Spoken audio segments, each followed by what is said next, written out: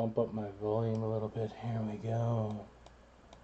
Oh, right there. All right, cool. Anyways, it's your big homie Snorlax. Um, this is Whoop times two. Not three unwise men this time. Uh, that's coming up soon, soonish. Maybe, kind of, sort of, maybe. Touch me like you do all the other girls. Anyways, um, so this is called tangentialism. Uh, originally, this was just supposed to be a five to ten minute video of me and my buddy Field Mouse talking about these new Sega controllers. Uh, and originally, we also were supposed to talk about a video game. There are two video games made by the same company uh, about the same time that are both comic book properties, and uh, yeah, that that talk didn't happen. Um, we talk a little bit about the controllers, but it pretty quickly veers way off into other subjects, and it's about two hours long. so uh, yeah, so the name I came up with for this is tangentialism. Um, tangentialism isn't actually a word, I don't think. Uh, but tangential is. And tangential is the best possible thing I think I can use to describe when me and him get uh, get together and we talk, you know? It's uh, very tangential. So this is called tangentialism. This is episode one of probably one. Maybe we'll do another one eventually. But episode one, tangentialism. It's called I Like Pants. Enjoy. Yeah. All right, so Back in the hot seat. yeah, hot seat. It's all hot and sweaty. It's because you're in it. All right. Uh, ah, that's how we do it around here. So we do. That's how we do. If it ain't gay, is it worth doing? Touching dicks and licking tips. I like how that rhymed. yeah. Touching dicks and licking tips. All right. So do crimes. we both just got done playing with both of these, the uh, 8BitDo M30, right, and the not not really special name, just Sega wireless controller, which is made by Retrobit. Uh, pros and cons. What what you which which one did you like better? You played with both of them. I liked the. Uh, I mean, they both felt the same, but I I liked the Sega controller just because it reminded me so much of the old Sega controller. Because I had It like does. the the wired six button controller, Yeah. and like I got really good with Mortal Kombat three playing that when I was a kid, and so Did, did you ever try to play Mortal Kombat with a three button controller? I did. It was horrible. It was not fun. That's how I learned. I've got Mortal Kombat 2. we can try that later. We can. and we can turn off the uh, the uh, XYZ Oh yeah. on both controllers. Those are always bastards because you had to uh, yeah, hold the left bumper down to, yeah. I think, uh, if I remember correctly. The um, so pro so Oh you had to hit A and B at the same time. say what? You had to like Yeah. hit A and B at the same time for To a make- high punch and B and C for a high kick. It yeah, was- it was which is mess. not fun. especially when you're trying to do combos. So, is it like even uh, these are these are fairly well built controllers for being Sega controllers. I, I remember Sega controllers always feeling flimsy, even though they were built like brick shit houses. hmm And uh, so I'm I like I'm happy with these because these actually feel kind of sturdy compared to original Xbox or not Xbox, but uh, Sega controllers. But um, where the fuck was I going with that? I don't fucking remember. Oh, I don't even know. Sturdy way it is. controllers. Yeah, sturdy controllers. Um, so, pro. So, what did you or didn't you like about the M30? Uh, there wasn't really anything that I didn't. I mean, it, it's really hard to say. Like, I wasn't paying that close of attention. You want to hold them? sure. Uh, Chicks never say that to me. I know, right? Same. Like it's definitely heavier. Um, I don't know. Did you ever play? Might just be the shape of play it the that I like better because of this. Uh, not much. So that so I don't know if you've ever seen a Saturn controller. Let me pull it up. But have, but it's been a long time. Like I, my friend, uh, I want to say my friend Asher had a Saturn, but because he had about every system. Yeah. he, So- he was that kid that, he, that always had all the cool stuff. so it's got more of a that one's got more. The M30 has more of a Saturn shape. Yeah, So and that might be all it is. It's just the, the little bean shape. yeah, It's just one that I'm more comfortable with subconsciously because I haven't even really played Sega in years. yeah. So here's a Mad Catz controller that's kind of got that boomerang thing going on on the output, but then it still has the bumpers. I am insanely anti Mad Catz. I am. It pisses Brittany off because Mad Catz now makes pretty much all of the Rock Band controllers. oh God! And I mean, they work well enough, but I'm still got that old, like, old school mentality of it. Yeah, Oh, it's 'cause gonna all set their- our house on fire. yeah, like dude, their controllers would only work for like an hour, yeah. then they would break, and me and uh, my friends would joke so much shitty. about how Mad Cat controllers were just like viruses. Like, here's twenty bucks for a piece of plastic that's gonna just break. yeah, And yeah, I'm I'm fairly anti Mad Catz. oh God, there's this horrible ass Mad Catz in uh, controller. I think it was Mad Catz, but it was uh, it's an N64 controller. Uh, Mad Catz was the first company to convince me that sometimes it's better just to pay extra for the. yeah. Sometimes the name brands are just better. I, I grew up on a steady diet of Kmart, but like, yeah, There was this horrible ass controller that was that was for the N64. I'm trying to see if I can find a picture of it. It uh it was fucking horrible. Like it it had this just insanely heavy clear plastic. This is pretty close to it, but it like it would it just went straight across there. So it kind of looked like some weird sex toy. It was like this one here, but without even the little. Yeah, there was like no nub at all. It just went straight across. Okay. And I'll put I'll post up pictures on the video so people can tell what the Yeah. fuck I'm saying. I seem to remember The- actively not wanting to get any off-brand. Well, I probably had that one, the little green one there. yeah. Um, but uh, Oh God! because. I had an N64 Is like when I graduated high school. I think this is it. Shark okay, so it had little bumps, but yeah, dude, this is it. Interact. This thing fucking sucked. Wow. Like, so my main my uh, main controller broke when me and my sister got into a fight. We used him like and we started like whipping them at each other and like fucking like you do.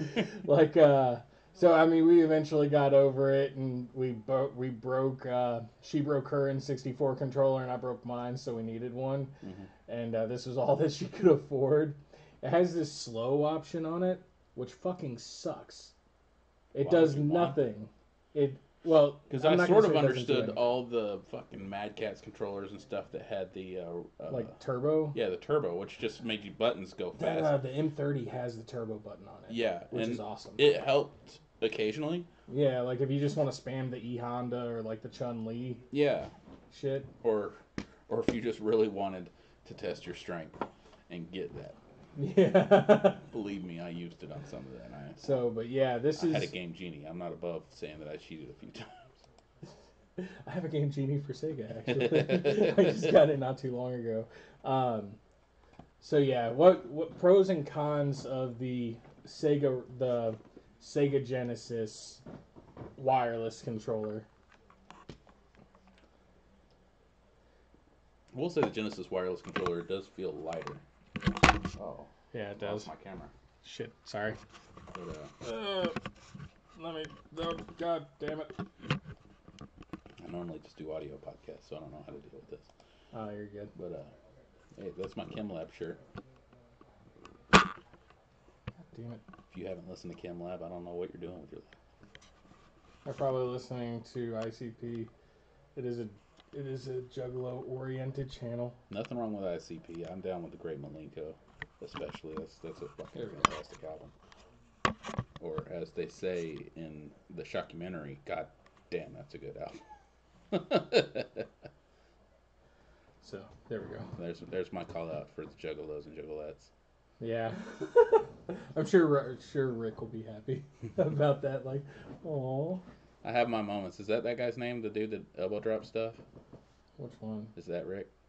No, fucking Rick Comic City. Oh, he's, my a, he's a secret yeah. juggalo. He is a juggalo.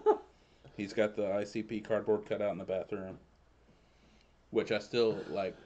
Have you moved when- that yet?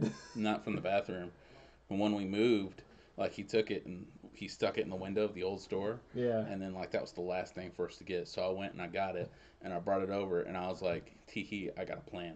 And I stuck it in his office where it was facing the door, Yeah. and I was like, I'm gonna scare the shit out of him when he opens up this door. And then at the end of the day, I had to, you know, close up and take the money out of the dr- drawer and take it and put it in the safe. And I went and opened up his office door and scared the shit out of myself. I was like, goddamn, got my own ass. It did scare him later, but it's just so much funnier to explain that I scared myself with the damn ICP cutout. yeah. that shit's a collector's item now. it is. You could probably sell it for a good penny. Uh, Occasionally people ask him to buy it, but he just, just no. I don't know what the fuck he wants for. Why is it in our bathroom? No one knows. It's just the way Rick goes. That yeah. Scaring Didn't it children. scare a little kid? It did once. And then uh, Justin's daughter heard someone say that they were scared of clowns and decided she wanted to pretend like she was scared too, but that didn't last long. Yeah. She's not really scared of clowns. Fuck. All right. So, what else can I say? Did you notice any lag between them? No. Did you have? I mean, other than just basic analog, I guess I get. I guess it, Sega is still technically digital. Well, Like it's I guess digital in- circuitry. in the Lost Vikings, there were some moments where, uh, whenever, because, you know, we had those little, like, fucking blue haired roly poly guys, Yeah. and uh, I had to, like, time it to shoot whenever they came up. Yeah. and sometimes the timing was really off and i just attributed it to myself though Okay. and so i i didn't feel like the controller was cheating us but Okay. it could have been Yeah. So like it just didn't occur to me that it was a wireless controller at the time from a technical standpoint, this one is Bluetooth, and this the so the M the M30 is Bluetooth and runs on a Bluetooth signal, whereas this one runs on old school radio frequency. Hmm. Uh, runs on 2.4 gigahertz. So this one should have the less the lesser of the lag, uh, barring like any serious sort of interference. which could also explain why in x-men once we figured out how to do the high jump yeah i was able to do it and you still had trouble Yeah, that's that's the only thing I could think of. Like, so I've tested this one, and I think I can do. I think I got it to where I can do like 19 button presses really really quick before it misses one.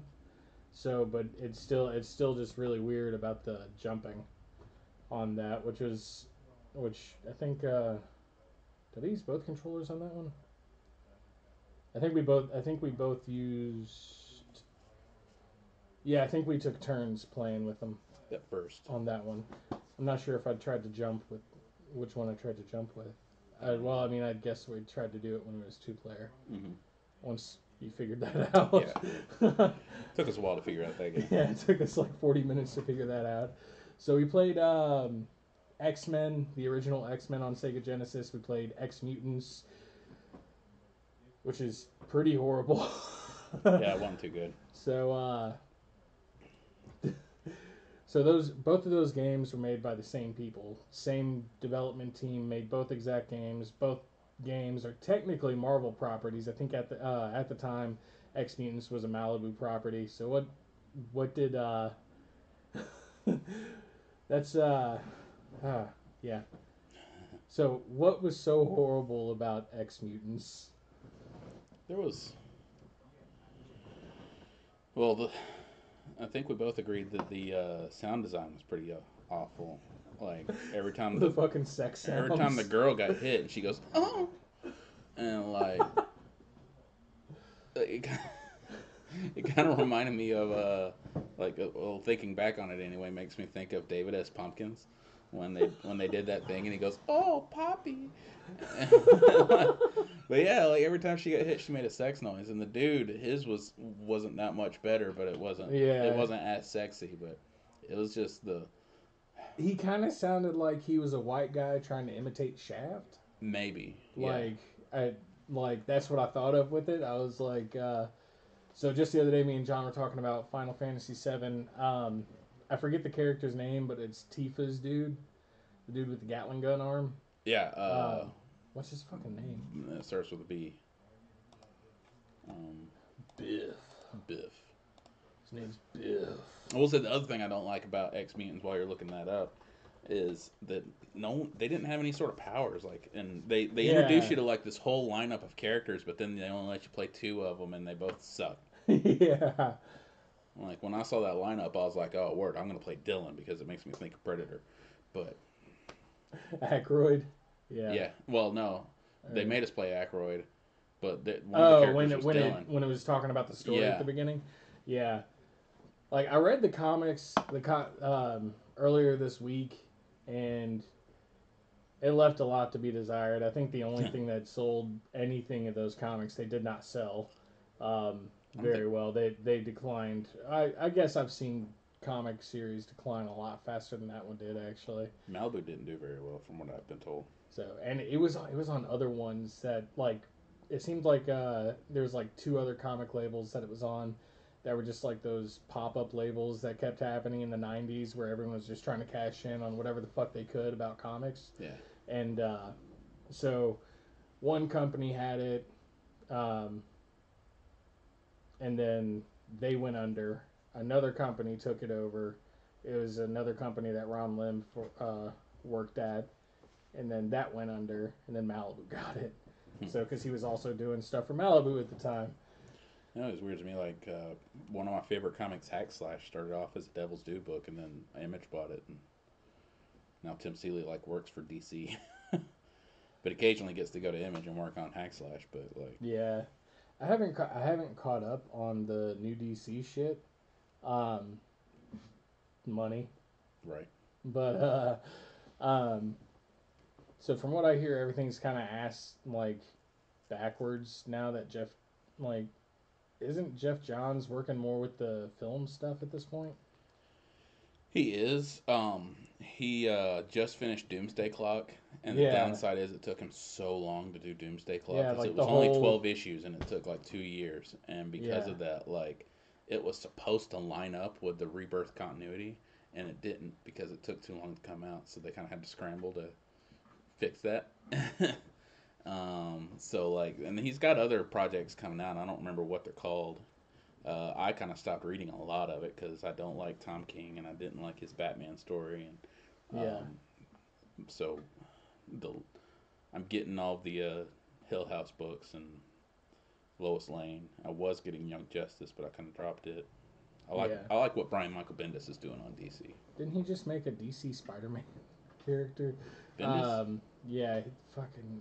Oh, what is it? he didn't make that character, but yeah, they had one named like Silencer or something like that. I can't remember if it was Silencer or It was one that just came up.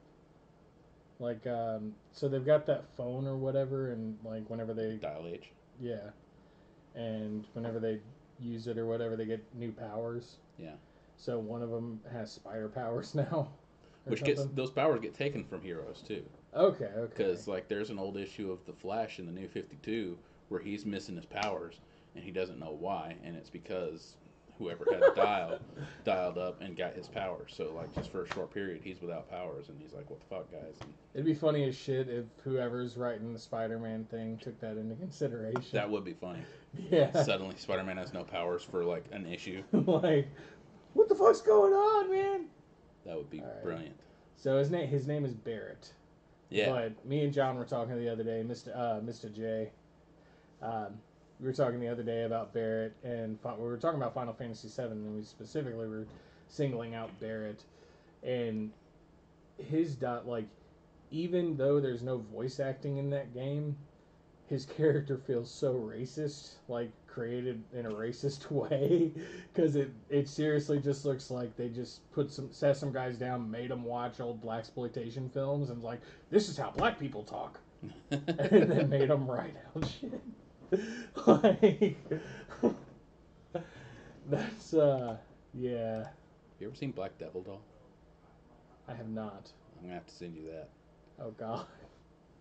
Hey, is this like a black a black exploitation film, or is this a uh, what is it?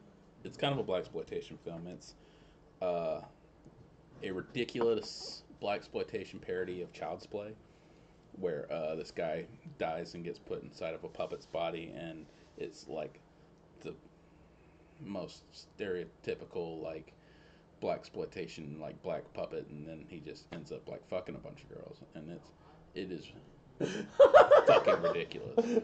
Like, oh god, I'll give it a shot. It can't be any worse than a Serbian film. I mean, it's it's not it's not bad like that, but it is just ridiculous. Like so much goof. Like like there's a whole almost 15 minute scene of all these like he tells like he, he gets this girlfriend and uh, convinces her to bring all of her friends over because he needs some action and they like all these like sexy girls pull up in a car and then they get out and just start washing the car I just realized I had my headphones on. I don't need them on. Yeah. like ju- my my ears are burning, and I'm like, oh god damn it, these headphones. they get out and just start washing the car for like 10 minutes Yeah. all the while he, he's in the window jacking off the like black, as a puppet, yeah the black devil doll is does he still have like bodily fluids as a puppet? he does because he squirts them on the window Oh, Jesus. Honestly, this doesn't sound much worse than Plastic. Did you read Plastic? i did read plastic i love that book I do too, but it, it doesn't sound like it would be much better than like a like a movie version of that. Well, it's just goofier. Like plastic has kind of that uh like Lars and the Real Doll feeling to it, where like yeah, it's kind of Yeah. goofy, but the dude's serious about his love for his wife, His Who's a- blow up doll. who's a blow up doll. Yeah. Yeah, Black Devil dolls. I, I, I got I got a file on my computer. Like, I'll send it to you. Okay. All right. anyway, I digress. Yeah. Awesome. So this is also your first time playing Lost Vikings. What did you think about that? That game was super fun. Awesome. That was really fun. It was challenging, uh, but not frustratingly challenging. Yeah. Like uh I think that's a I think that game is just a format that needs to exist still. Yeah. And it doesn't like having just a puzzle game that is also a platformer and co-op. Yeah. Like I don't know I don't know too many games in history that are that specific. Um, Yeah. Like every once in a while you'll get a puzzle in a platform game, or you'll get a puzzle in like a co-op game or something, but not to that extent. It's like every map is a puzzle mixed with the co-op experience, and that's really awesome. Uh, I, I don't think I've ever gotten as far as we did together today, because me and my friends fucking sucked at it when we were kids. we had problems today with Yeah. it. It's uh, it can definitely be. A it takes a while to get used to what you have to do because it, I didn't like the fact that you had to uh, keep going back and getting the other guy, and I couldn't do it if you were the main. If you controlled the window, I had to just be like, okay.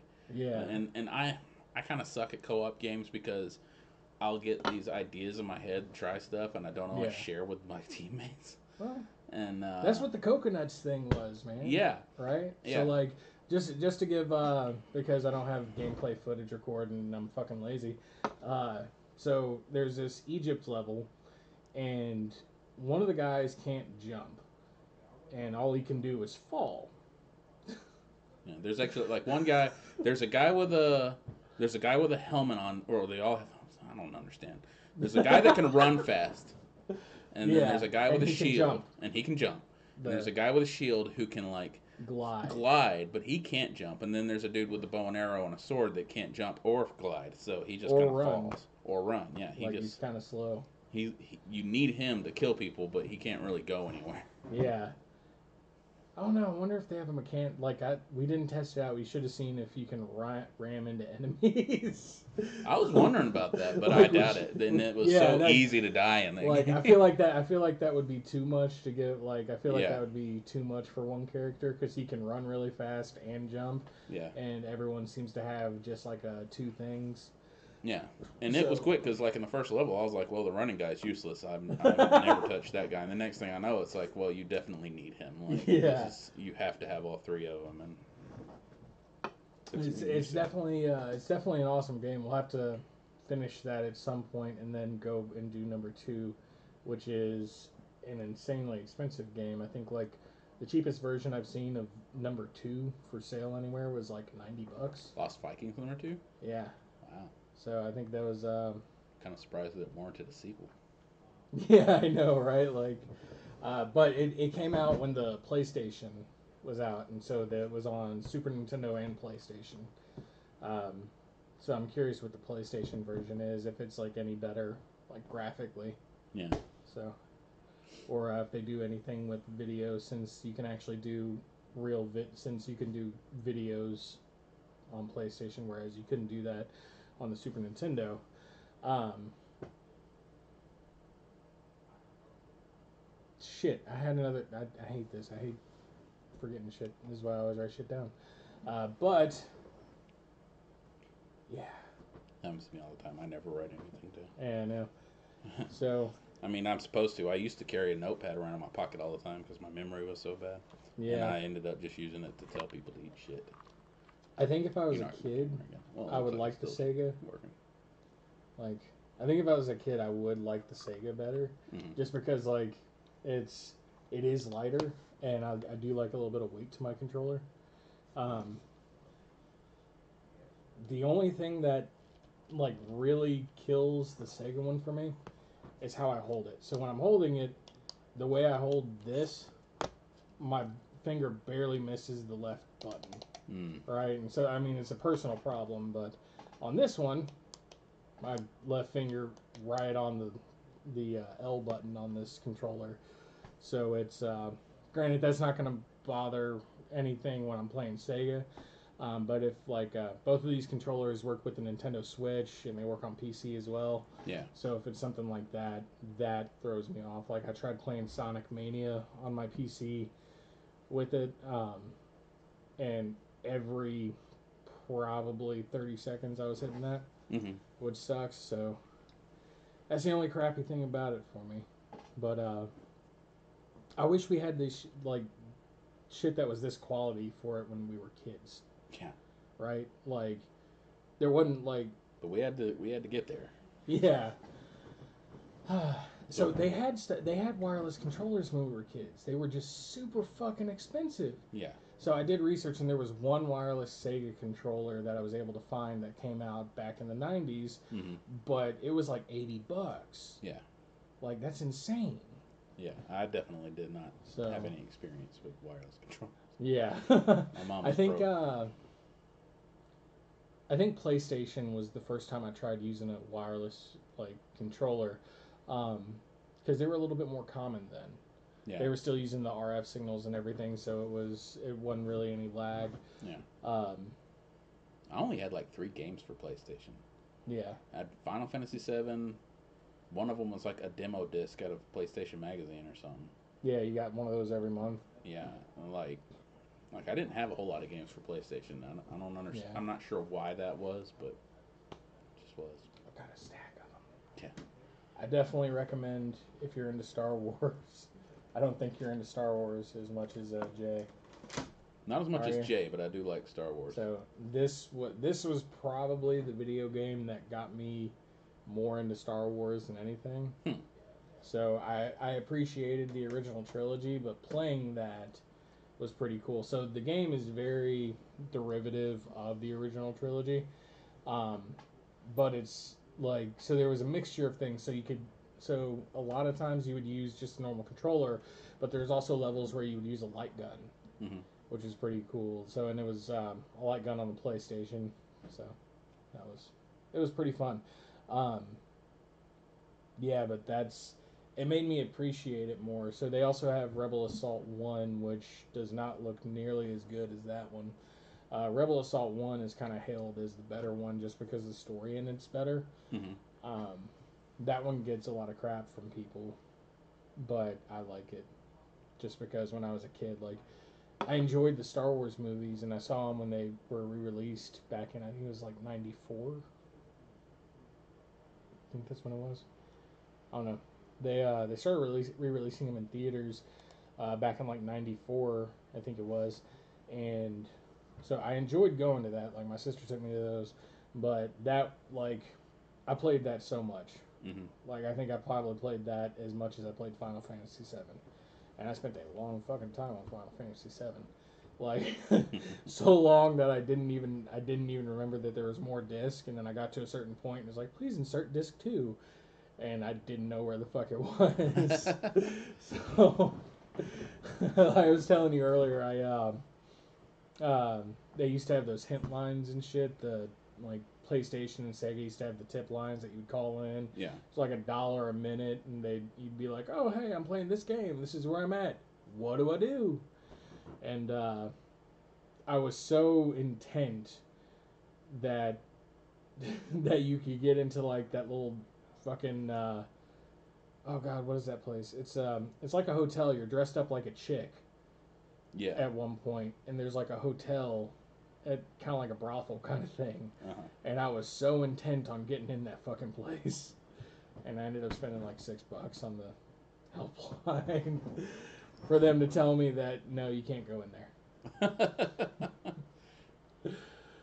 Oh God, Well, So- worse. They could have strung you along. yeah. This went way off topic, Yeah. but it's it's all good. Uh, yeah, so if you had, so if you were, uh, so ten year old, ten year old you versus you now, do you think both? Uh, which one would ten year old you want versus you now? Can you do that? Is that Oh well, I mean, I know ten-year-old me enjoyed stuff like the turbo buttons, so yeah, so he might like the M30 better. But like, I also really liked my six-button controller. Yeah. It, just the standard like kind of boomerang shape. yeah, and so that that's why I like that one now. Is because it just reminds me of that. Yeah, that's cool. But I mean, like I know at that age, I was always hoping that stuff like Mad Catz would be cool and work out for me. And it was just once I became a teenager when I started to realize what garbage it was.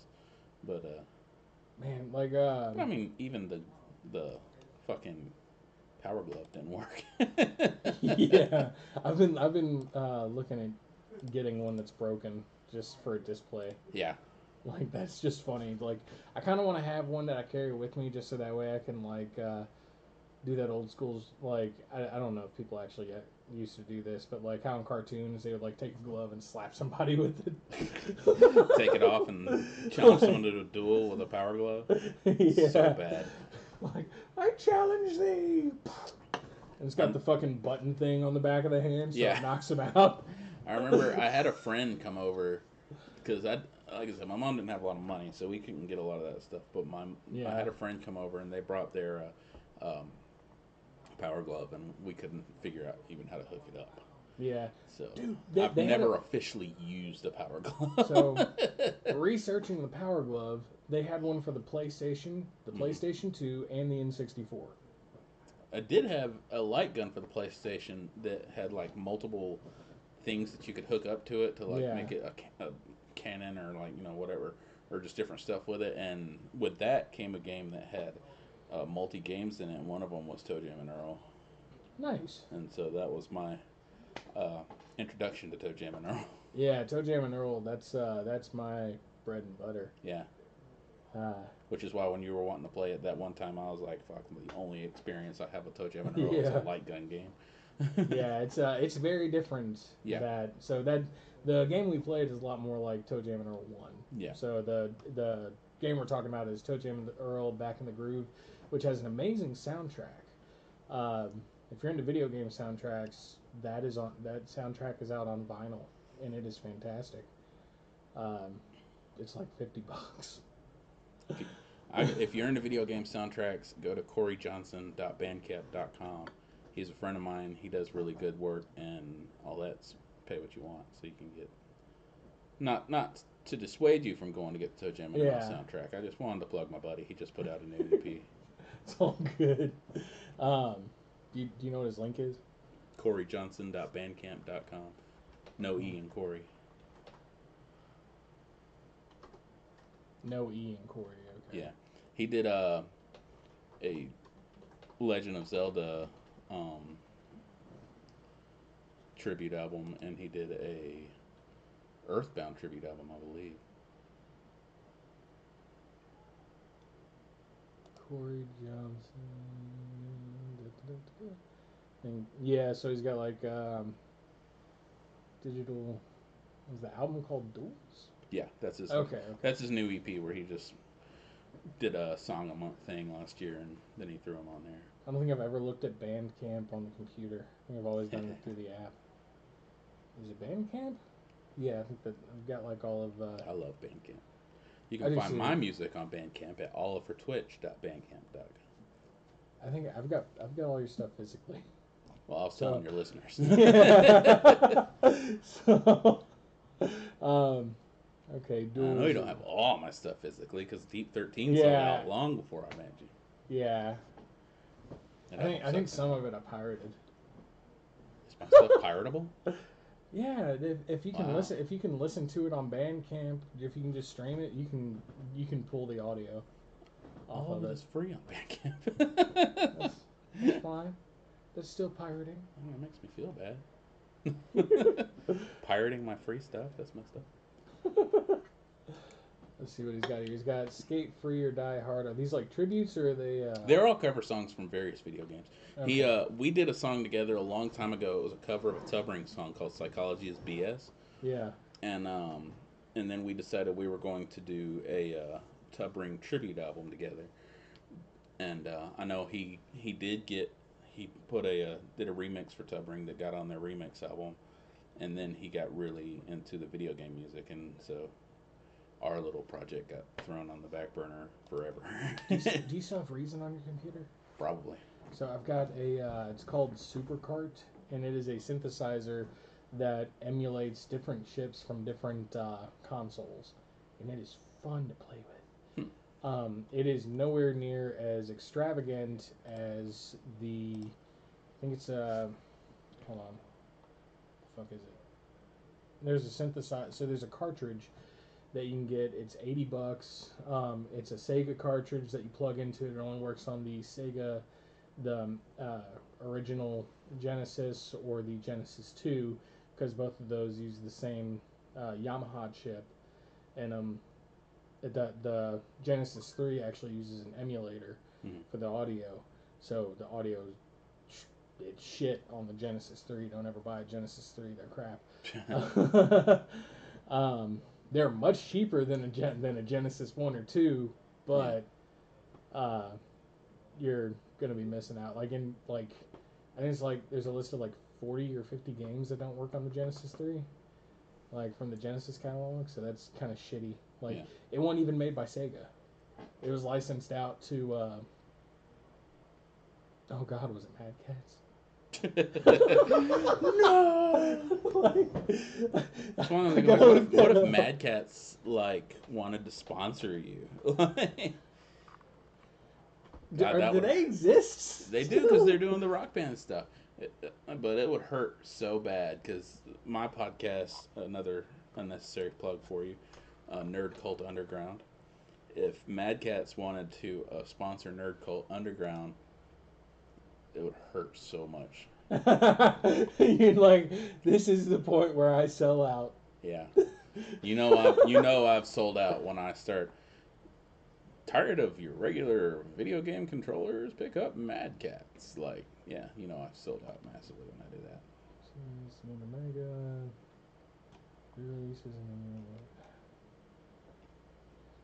Okay, it was Majesco. Ah. That's the company that made all the Mexican variants of Sega games. So that's uh that's what this is. That's what the tournament fighters Oh yes. is. So assembled in Mexico. This one's made in Japan. So uh, Konami games were actually assembled in America. Uh, most other Genesis games were assembled in Japan. Uh, once a game reached its income cycle for like its actual profitable income cycle for these games, they would be licensed out to be create to be remade by Majesco. Um, and they actually used recycled parts. I don't have my screwdriver here, but if you take this apart, if you take them apart, the PCBs are vastly different. Hmm. Um, all the stuff from Majesco, or at least the stuff that I've seen, anyways, looks like it's using recycled parts. Um, and even the PCBs are like missing lines. So like the games work and they work as intended, but if like if it doesn't use pin 12, they don't even run a line on the PCB for it Right. at that point because everything is just like saving as much money as possible for them. Makes sense.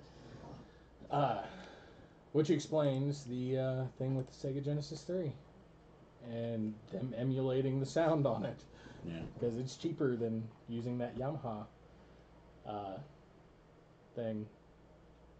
Chip. That's what it is. It's chip. Okay, Sega Genesis synthesizer cartridge. Super Nintendo, Sega Genesis. Super Nintendo, Sega Genesis. Oh, dude, some uh, techno guy released an album on the Sega Genesis this year, um, 2019. Is that his name? No, Oh. like he literally like um, he made a full out just techno album using nothing but that one chip, and it all fits on a Sega cartridge, and Mhm. that's how you get the album. Yeah. I, I met a guy in, in uh, Knoxville named Dr. Isaac, Yeah, or Doc Isaac. He's a rapper, and he does all of his stuff using Nintendo. And that was pretty cool because he had like the, the big, like, fucking fat tube TV and like an NES there, and he would have to, like, it was pretty interesting to watch him work. He was, he was a really good rapper. where the fuck is this? It's not that one.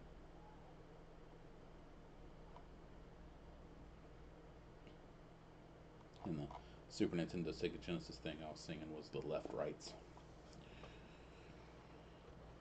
Some of you jug- juggalos might know about the left rights. Depends on how I think many crumbs you follow. yeah. Catskull Electronics. That sounds familiar. That's it. All right. So you get a it's 80 bucks. You get the cartridge which enables you to access just the synth module or the uh, chip that acts as a synth module and it gives you a MIDI adapter that plugs into controller 2 port. Um, so it's got a USB C port on it for MIDI over USB, and it also has a MIDI through TRS. So have you seen those the TRS adapters that turn into MIDI? Maybe. So it's just like a headphone jack, and that's where the MIDI signal goes through. I mean, I haven't used. I mean, since they started running MIDI through USB, I haven't used MIDI stuff in a while. Yeah. So like, oh, god damn it, I don't want to this. Hold on. Boom. Yeah, I've seen that.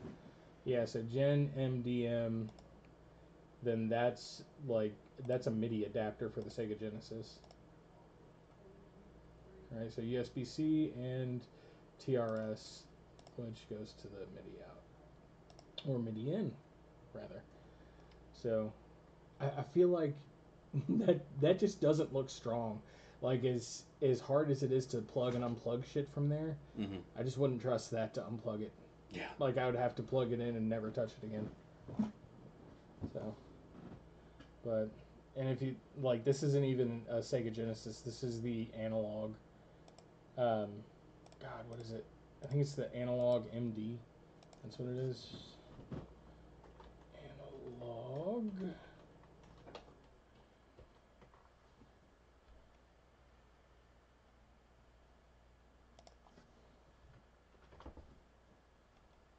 Mega SG, that's what it's called. So it's a hardware clone of the Sega Genesis. Um, so what it does is they use FPGA chips to clone the original chips. So when you play this, it's like you're playing it on actual Sega hardware. Hmm. Uh, but this has full 1080p output, which is really awesome. I wonder if they sell them for sale for almost 200 bucks. But it does come with the M30. Yeah. I didn't buy that. I would like to. I don't have the money.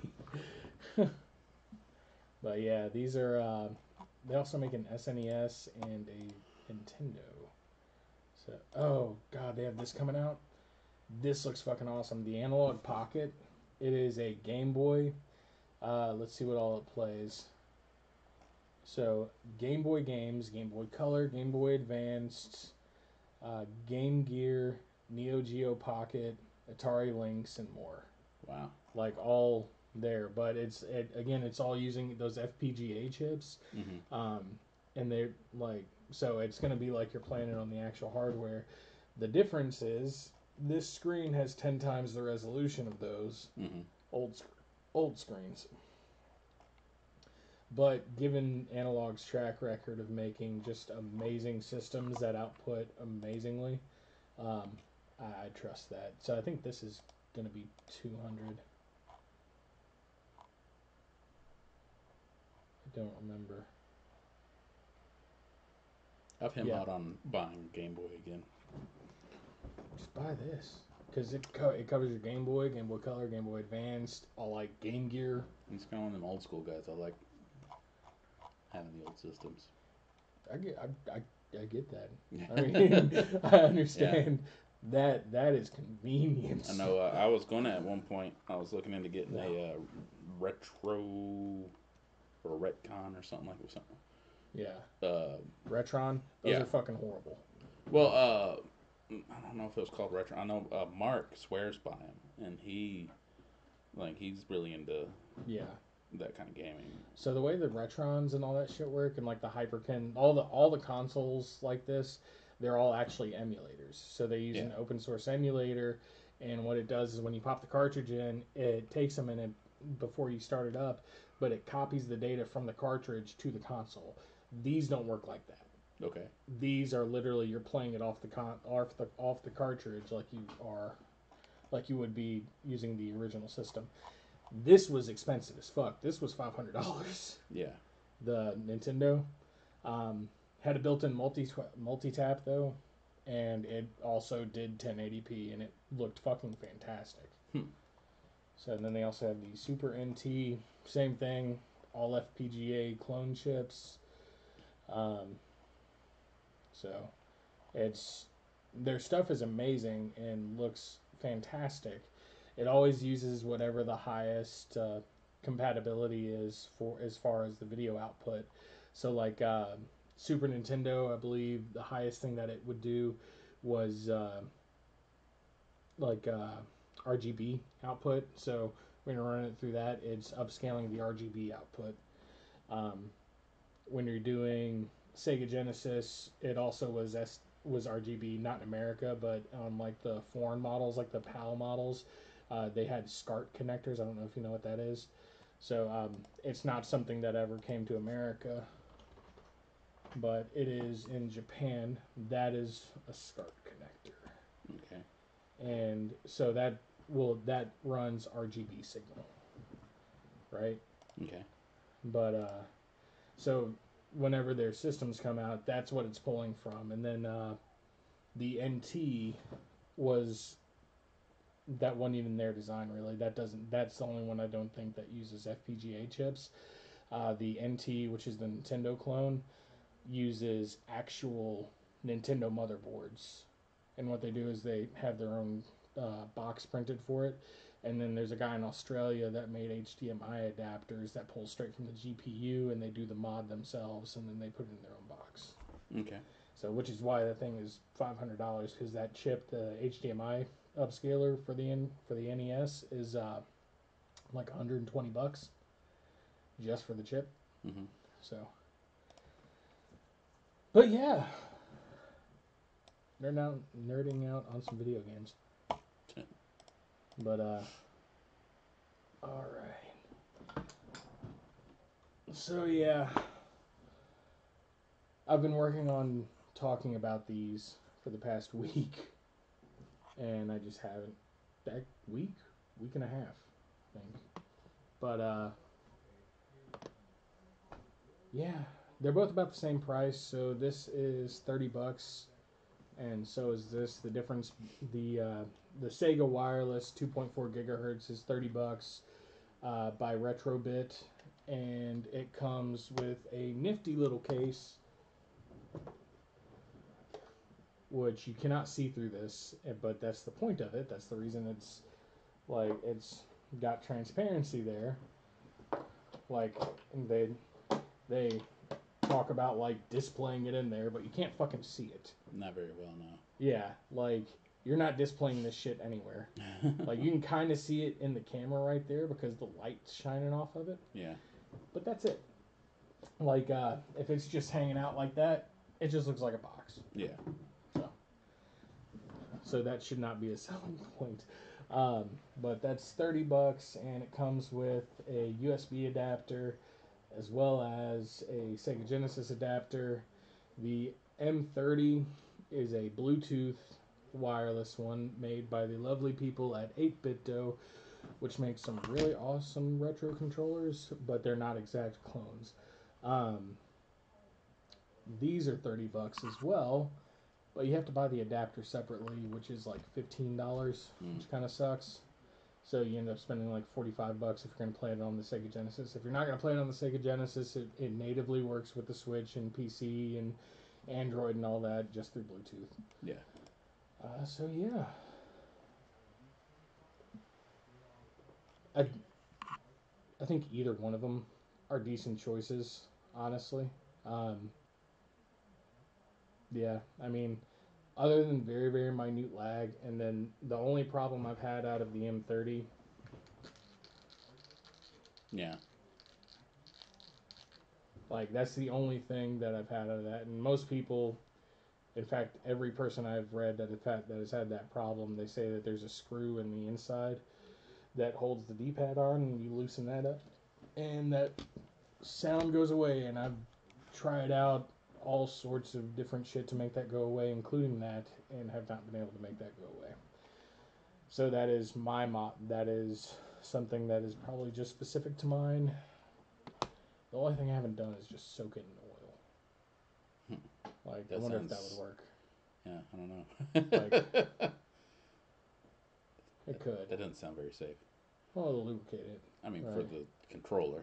No, I mean, like I would take, I would take it apart and take the D-pad out, and then just like soak the No. D-pad in oil. I thought you were talking about just dipping the whole Oh, controller oil. no. well, as long as it's not electrically conductive oil, Yeah. then yeah. uh, when I was in college, we built a computer that used oil. It was just like a giant tub of oil, and we put all the parts in there. hmm None of it was moving parts, so it worked. Hmm.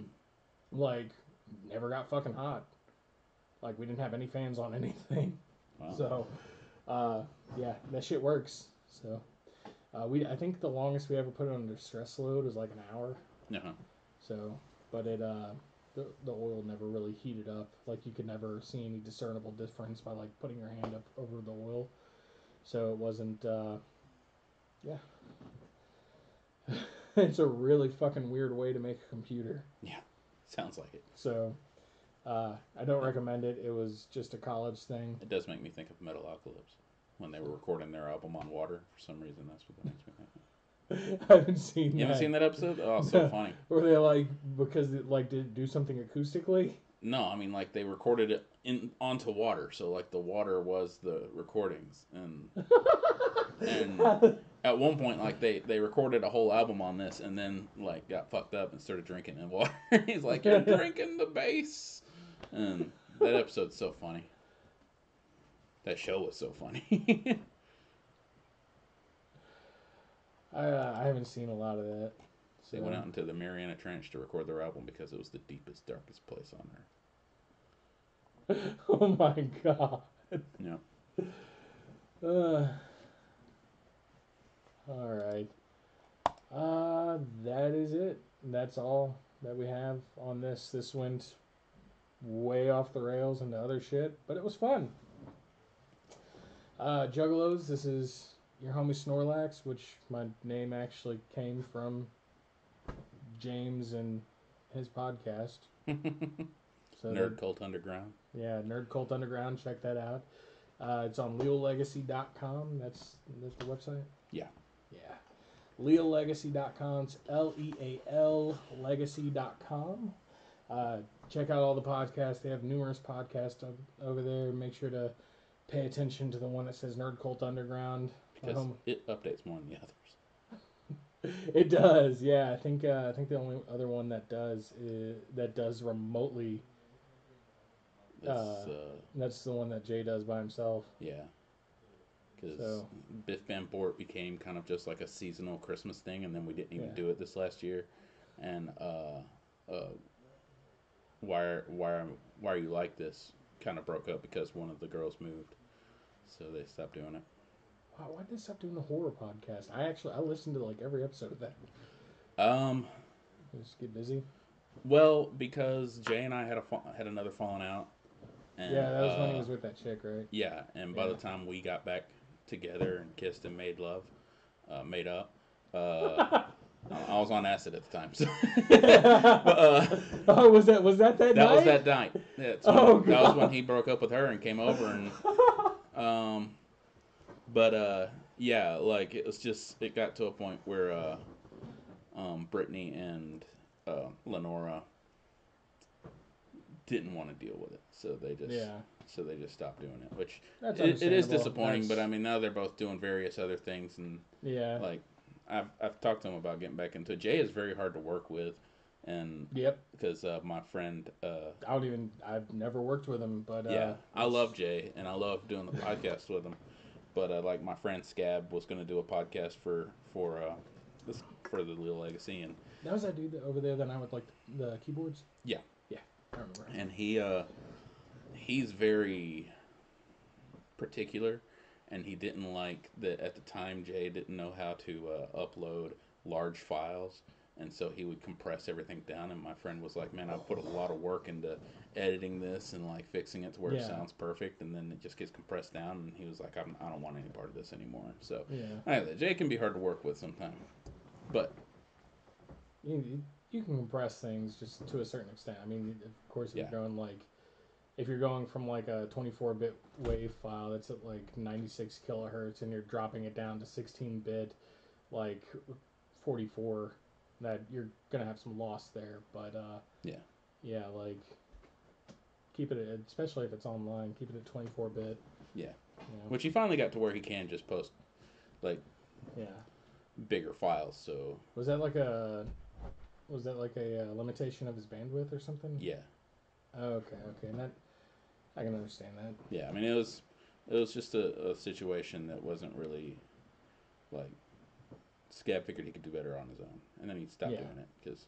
But now he's working on music Yeah. with Rez Grizio. Oh, that's cool. I didn't I didn't know he was actually doing like a project. hmm He has a uh, album he did that was a soundtrack to a like Twitch or yeah Twitch streaming game show type thing. I don't know what the show's called, uh, which is which is disappointing. I, I apologize because it's pretty fun, and uh, but he's got a soundtrack to that, and now he's almost finished with his just album for himself. That's what's up. Yeah, I, I definitely want to hear that. I uh, I enjoyed, you know, hanging out with him and listening, like just Yeah, we can do it. Uh, shit. It might be resgrizio.bandcamp. I'm not sure. I know uh, the album is called Press Start. Yeah, Um, yeah. I enjoy. I, We've worked together for a long time, he and I. He was one of the first guys that I uh, decided to do Oliver Twitch, what, what became Oliver Twitch. with, yeah. Is Mark still doing that? Yeah. Are, y- are y'all still working on music? In a way. In a way. Mark so- is working on, and I mean, I got more stuff to play. Mark's the one that I was talking about. He's got a show on YouTube called uh, Retro. Fuck, I don't know. It's like a retro game review show. Yeah. Um, it's really cool. It's really fun, and that's what he's focusing more on.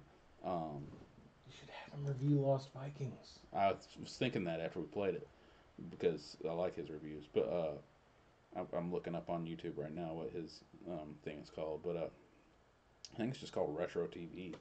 But uh, Well, send, send me the links for that stuff. I'll uh, pop it up on the yeah, description down at the bottom yeah, for all the juggalos. Check that out and uh, not be assholes in comments. yeah. So, don't Which be I've- assholes in comments. a, a, a nice little story for you juggalos out there because I'm not a juggalo, but I'm I'm jugga friendly. Um, I've, I've had some asshole juggalos treat me badly, but I also enjoy stuff that ICP puts out, and I have a lot of respect for those guys. But like, one time I was in a chat room, and uh, some kid was on there, and he said, you know, I'm a juggalo, I'm a juggalo, and I made some reference to uh, Big Money Hustlas. I don't remember what I said, but it was a quote to Big Money Hustlas, and he said, he said, I don't know what you're talking about, and I said, bitch, you ain't no ninja. And he said, I didn't say I was a ninja. I said I was a juggalo, and I was like, all right, slow down. Before we go any further, I was like, what have you actually heard from ICP? And he's like, oh, I just listened to like, I think the Wraith had just come out, yeah. and that was all he'd heard. Oh. And I was like, all right, well, let this yeah, elder friend of the Juggalos come in and introduce you to a whole world of psychopathic records. Yeah. it was just one of those moments where I was like, wait a second, I, I didn't say I was a ninja. I said I was a Juggalo. Like, okay, there's something wrong here. Have you? Have you? So this is going on much longer than I thought it was Yeah, originally. sorry about that. Uh, I, I no, just wanted to you're share my one good ICP story. No, you're good. Actually, uh, that like getting getting someone that's an outsider to that community. Um, do you know anything about the gang? Uh, the gang classification with it? just the stuff that I've heard. Like, I started reading a book about Juggalos that talked about it, Yeah. um, but it, I kind of fell off of it. It didn't really interest What, me. so there's like three books that have come out recently that I can think of. What which one is it? Family? No, that it? I think it's just called Juggalo. Okay. Yeah, I think I saw that last time I came over. And then I saw the epi- I saw I watched uh, Trigger Warning with uh, Killer Mike, and he has a Juggalo on a couple of episodes of that that uh, I learned a little bit more about. Like I had distanced myself from the the and not really on purpose or anything. I just kind of moved on with my life and ended up distancing myself from the Juggalo culture by Yeah. the time that happened. So Yeah.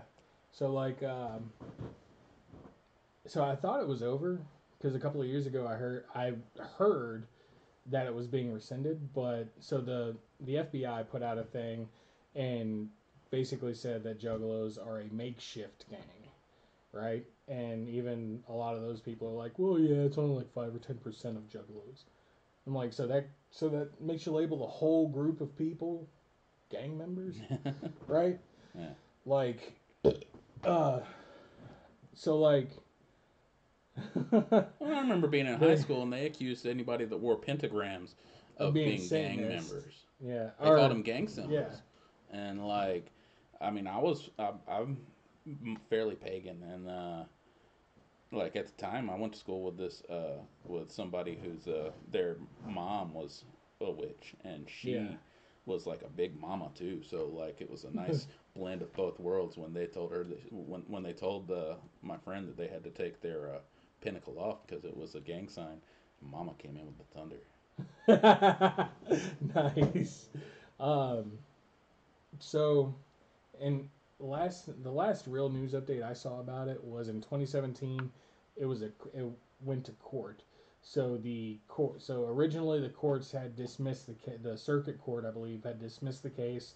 The court above them came back and said no, the case still needs to happen. That it shouldn't have been dismissed. So then they actually went to court about it, but then the court found that they had no real they had no real evidence showing that lives had been hurt Yeah, um, by that de- by that designation, yeah. and uh, so it that's the last update I've seen about it. So at this point, I'm like, I'm uh, the the thing that I've been thinking about recently about it is uh, do you remember the West Memphis Three? Vaguely. So do you remember, do you remember that story at all? Anything that happened? No, I, I remember the I remember hearing the term West Memphis Three, but I don't Right, remember so- anything about it. Um, For all I know, I heard it from you. I don't know. yeah. So I lived in Memphis at the time, so it's a it's a big part. Uh, it's a big memory for me because I Yeah. I lived in that area when that happened. Um, West Memphis is Arkansas. I lived in actual Memphis, Tennessee. Um, and so they found three little boys dead, and they had their, they all had their genitals mutilated, right? And so there was this was dead in the middle of satanic panic of the 80s and 90s Yeah. right? So they automatically like, oh man, genital mutilation, oh, Yeah. and um, so they basically pick out these three kids that all listen to metal and wear metal shirts and you know like a couple of them might paint their nails or whatever Yeah. like you know they one of them i think wore a pentagram so Yeah. those three kids that didn't that had no evidence at all towards them they uh they spent what 20 30 years in prison so Which is what you call a witch hunt. yeah like uh some of them were on death row if not all of them Damn. if i remember correctly like and they got out and uh, they got out a couple of years ago damien echols um, he's kind of the most outspoken one he's the one that is out of them the one that's in the spotlight the the most unfortunate name of Damien. yeah, I know, right? Like especially in that situation, like Thanks, mom. I thought it was a cool name until. yeah.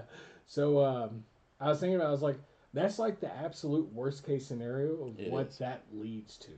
It is because I'm. I mean, Columbine was a big deal for for me because of the effect it had on schools, and I don't. Yeah. I can't remember what our age difference is. Um, I'm uh, I'm 33. okay. It's not so much was- then. I'm 38. Yeah, so Um, it's you were young in your I was in high high school. school. and uh, because was I, I had just got a trench coat from my grandmother that I wanted because I gambit, and I still have it. But uh, I got the trench coat from my grandmother. It doesn't fit me anymore. But um, as soon as I got the trench coat, uh, Columbine happened. And we weren't allowed to wear them. And then also, I was at that point in my life that everyone talks about movies and stuff where I was getting picked on and bullied, and I was like, I'm going to stand up for myself. I'm going to fucking fight back. Yeah, And then people were terrified of me because I wore all because you were bullied. because I wore all black. Oh man, I was bullied, and Columbine just happened. And Yeah. um, like oh man, I've treated this kid like shit for the past five years. yeah, he might kill me. they were worried about that, and I, I neither had the access to weapons nor the fucking energy to deal with it. Like, Yeah. like I've Like- always been kind of lackadaisical about that stuff, and like.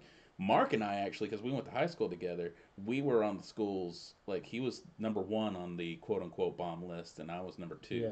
because we both were just we just kept ourselves and wore black clothing and stuff and he was really into the misfits and i was really into marilyn Yeah. manson and and it was like they just assumed that we were going to kill everybody and Yeah. neither of us had the energy for that shit yeah, like I, I oh god, I hate that. i remember Yeah, someone coming up to me uh, once because mark was so scary that i was afraid to talk to him before i met him because he always had like red lines under his eyes i thought he stayed up all night doing satanic stuff Yeah. and um which he, he might have Like- but, but I remember like after a while, like uh, because he was dating this girl named Brittany who lived down the street from me, so we rode the same school bus, and we were both on the bus, and one of my neighbors was like, "Dude, you know Mark?"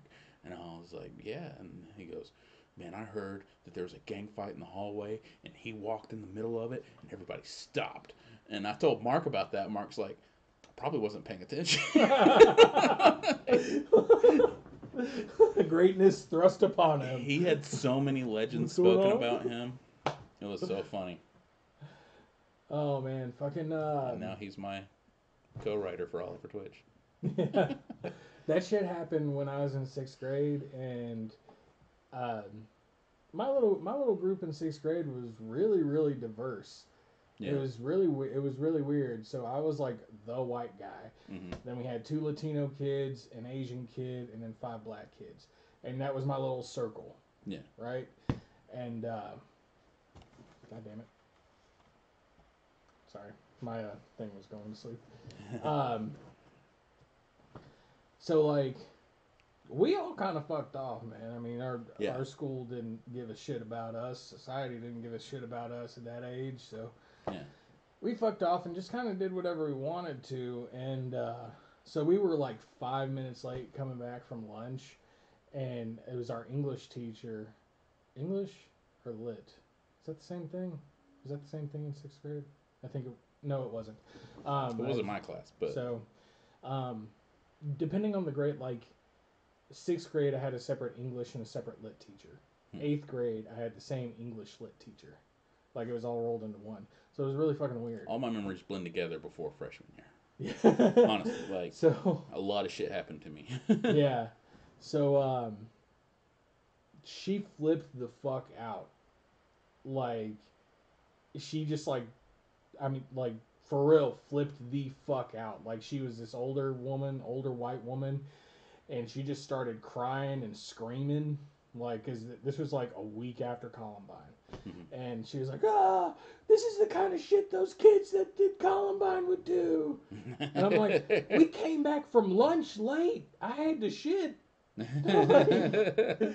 I'm. I mean, they were human. They probably did have to shit at some point. Columbine was to high school as 9/11 was to the airport. yeah. It changed everything and made white people way more nervous. Yeah.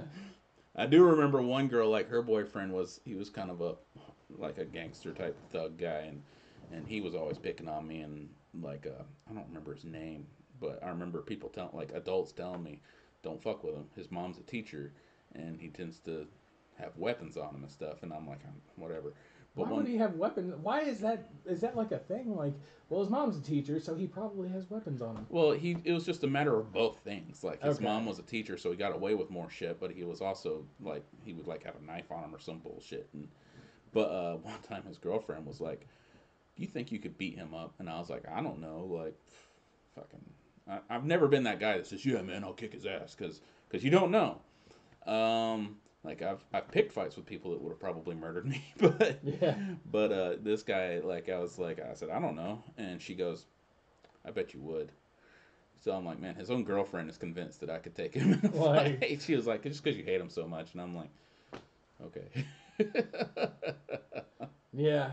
Fucking. I couldn't remember his name if, if I had to though. Like these these people did not mean much to me in life. Yeah. I, They were all I, NPCs. I, uh, I think there's only one teacher I had that really. I had two. So my sixth grade math teacher, which was also my homeroom teacher, Mr. Tucker, he was really awesome. Um, he took special interest in my life because my life, my home life at the time was really fucked up. My home life was kind of fucked up until I moved out of home. Yeah. um, and then my uh, eighth grade study hall teacher, uh, which ended up being like my ninth grade English teacher and tenth grade English teacher. Not actually tenth grade. This is my. It was the same technical year. I failed English my first ninth grade year, so it was like I was still a ninth grader, Hmm. even though I passed everything else. So, Yeah. Like, uh, uh, she, me and her actually still talk. She's really awesome. She was. Uh, did you ever have like just the hot teacher in school that like all the guys were like, oh man, she's probably boning. She's probably boning some of the students. I did, and I'm pretty Right. sure she was. Yeah. she was a drama she teacher. probably was. She I was the still drama believe teacher. She- yeah, I, I'm not convinced that she wasn't. She was kind of a bitch, but uh, Yeah. but she was hot, and she she was my English teacher, and she was also the drama teacher. Yeah. Be my those, She's, those she's tend to go one. hand in hand. It does. Well, So- that was the way my school, and I mean, I guess a lot of schools did that, where they're like, okay, this guy really wants to be the soccer coach. Teach history, Yeah. whatever. That I, I don't. know. High School sucks. I feel I feel like that might be one of the problems we're having right now. I graduated society, 20 years are- ago, and I'll still say Smyrna High School sucks. Yeah. um, that whole gym teachers teaching shit. I feel like that's probably part of the reason we have such a stupid society. those who can't do teach, and those who can't teach teach gym. yeah. So it's uh. I got friends that are teachers, and I love them. Actually, one of my friends, uh, she's a badass. Her, um, we call her a little huntress, and uh, she's a teacher. And one time I was working because I work at a comic shop, and I was at work, and she was there, and somebody came in to try to sell us makeup. And my, yeah, I don't know why they do this shit, but they at came in. Shop. Yeah, they came in and they were like, "Don't you have a special something?" That it always bugs me 'cause that they always assume that like, you know, don't you have like a special lady in your life you'd like to buy this makeup for? It's like, what makes you think I? I think I would look good with this makeup on myself. Yeah. But uh, Yeah, they came in. She came in and she said, you know, do you have a special lady in your life? I said, I'm afraid of women. And she said, she said, what about your mom? What about you? I said, my mom is the reason why I'm afraid of women. And then she like pointed at like uh, little Huntress who was there and was like, well, what about her? And I said, she's a teacher. That's like the scariest type of woman there is. Like I just, she was not getting any ground on me. oh god.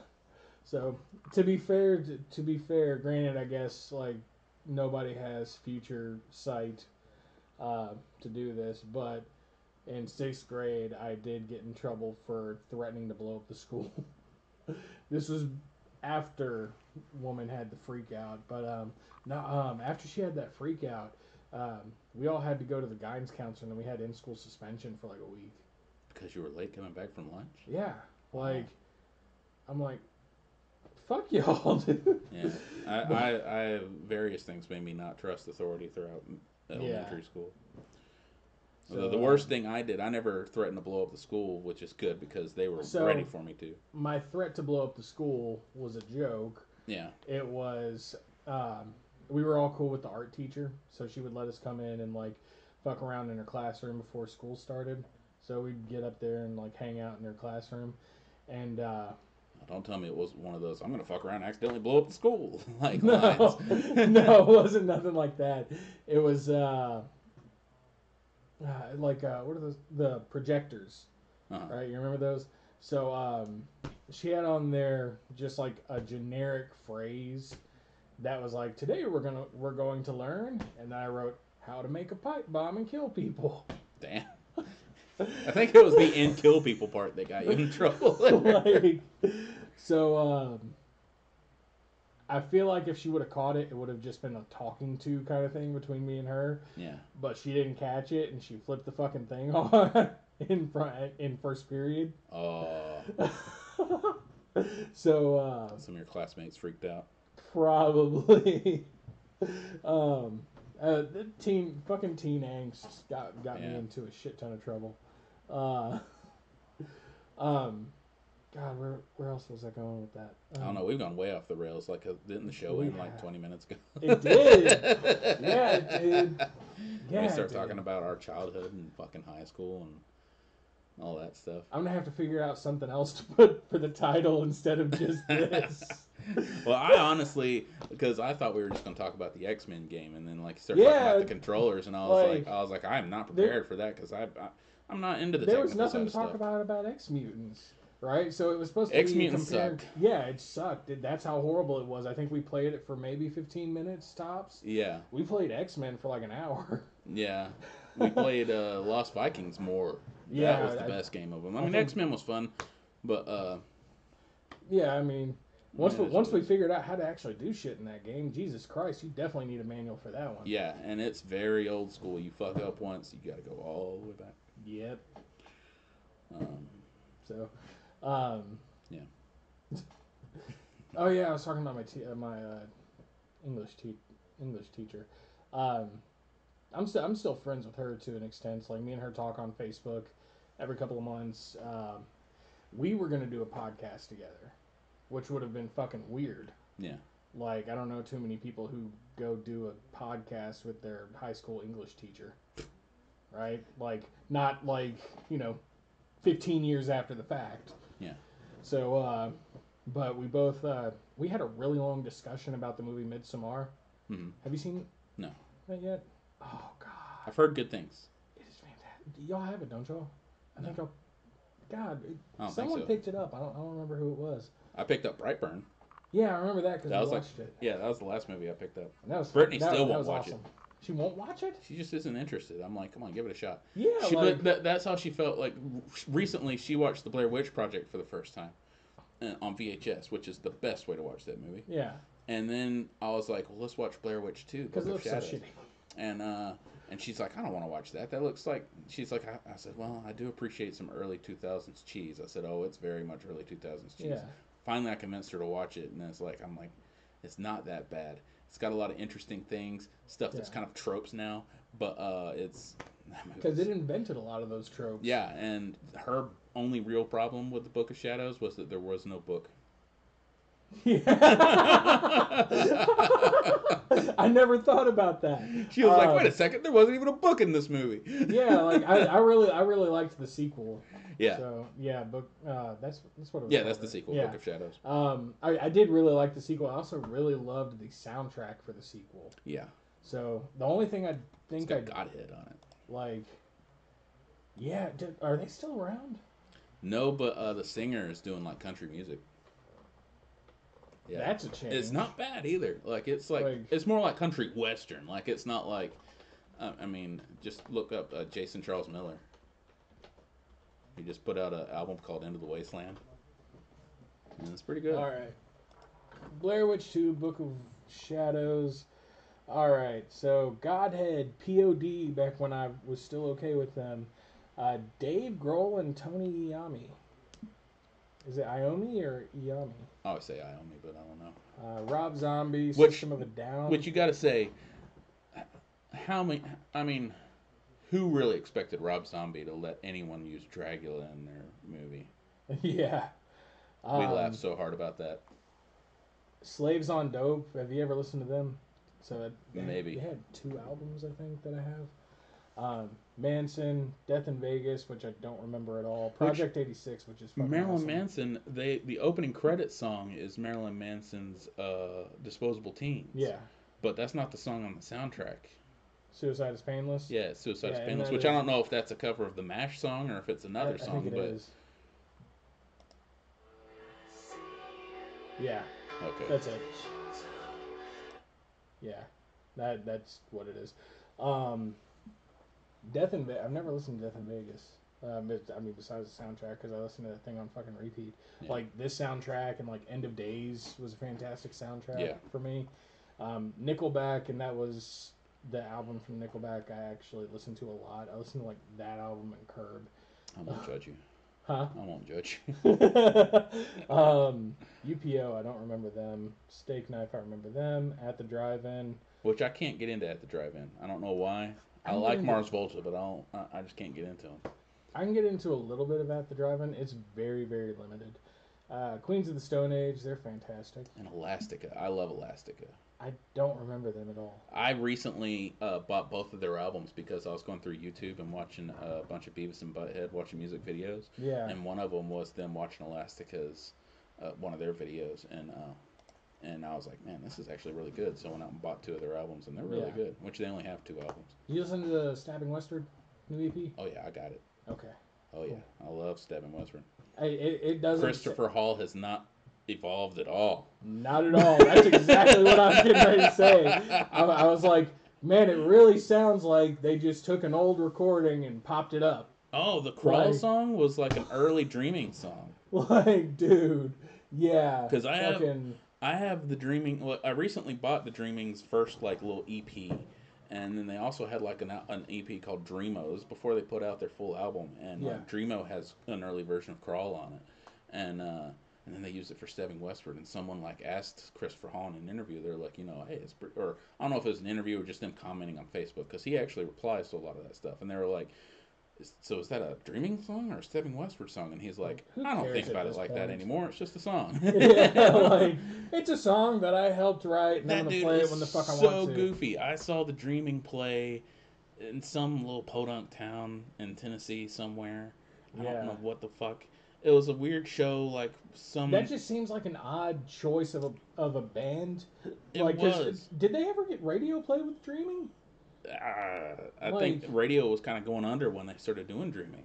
Like, yeah, that's what that's what I'm saying. Like, I I didn't fit. Like, I would figure stabbing westward at this point doesn't have the kind of draw to do like um, what's that auditorium like the out, outdoor auditorium downtown. Yeah, no, they couldn't do Um, that. Yeah, like I saw. I've seen Stabbing Westward now. I saw their big reunion show in Chicago, and they played Yeah. Double Door, which wasn't a big venue. Chicago has a better scene for that for like industrial They and do because like that's where that Wax than- Tracks was.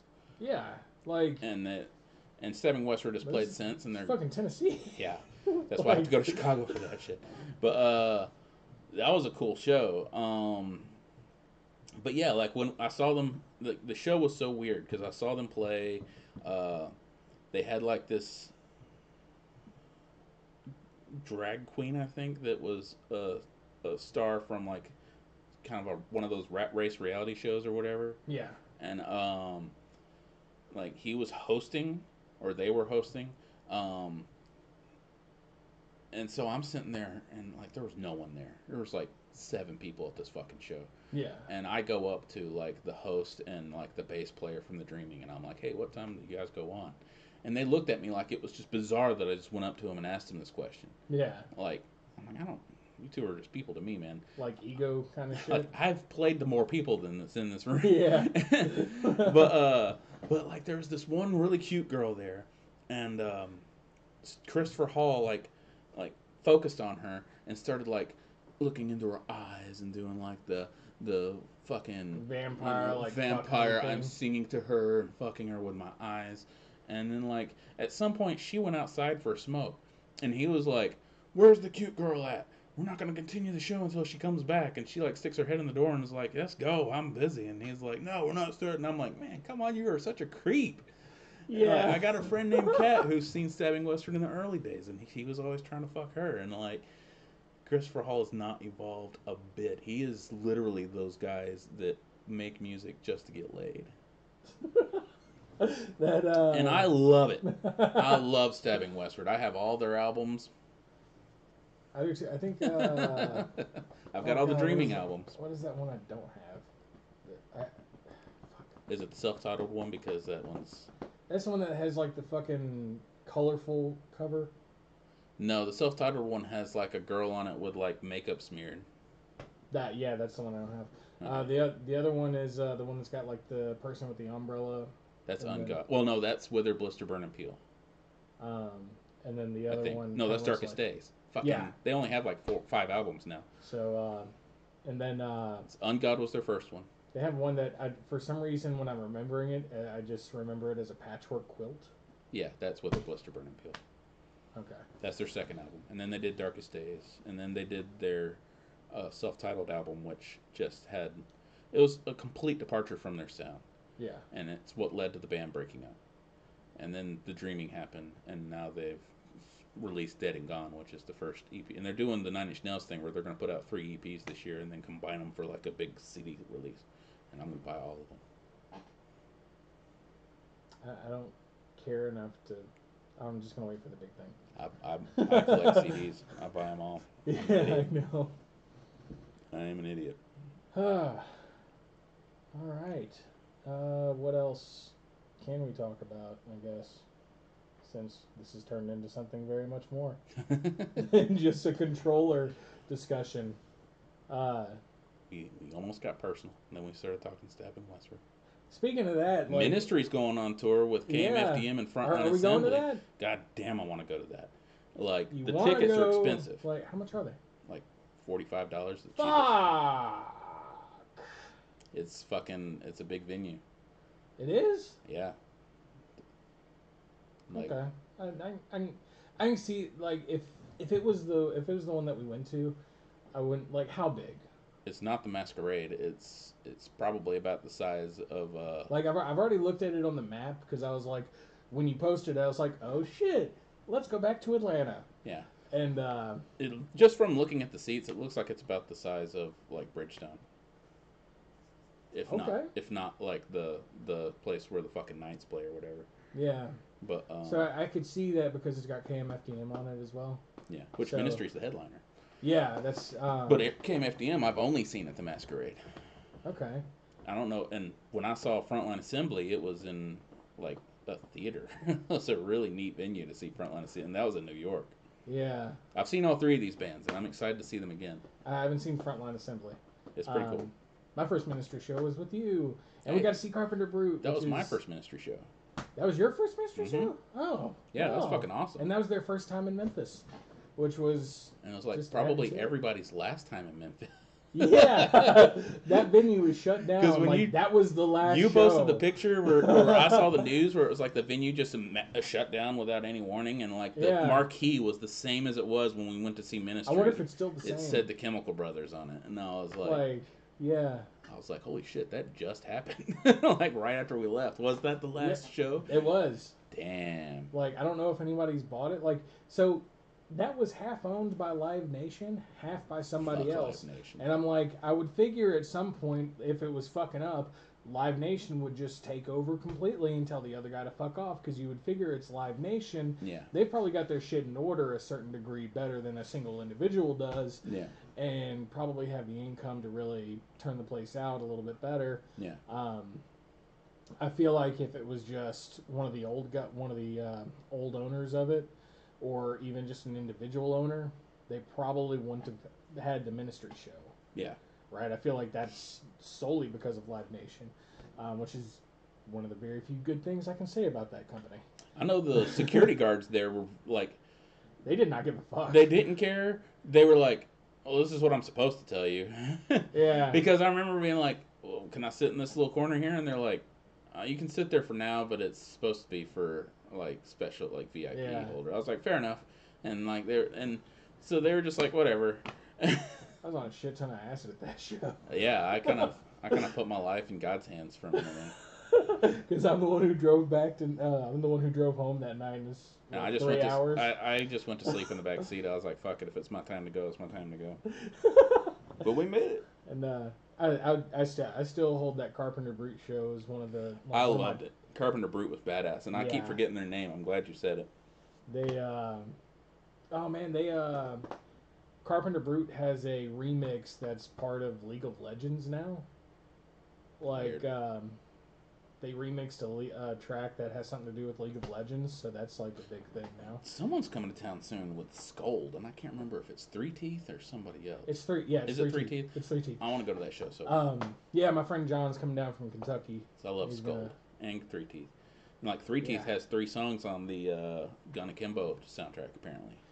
That's okay. That's what he was talking about then. Two so cover songs la- um, last time that Three Teeth was in Nashville, we were hanging out after the show, and I I was hanging out talking to um, author Punisher dude.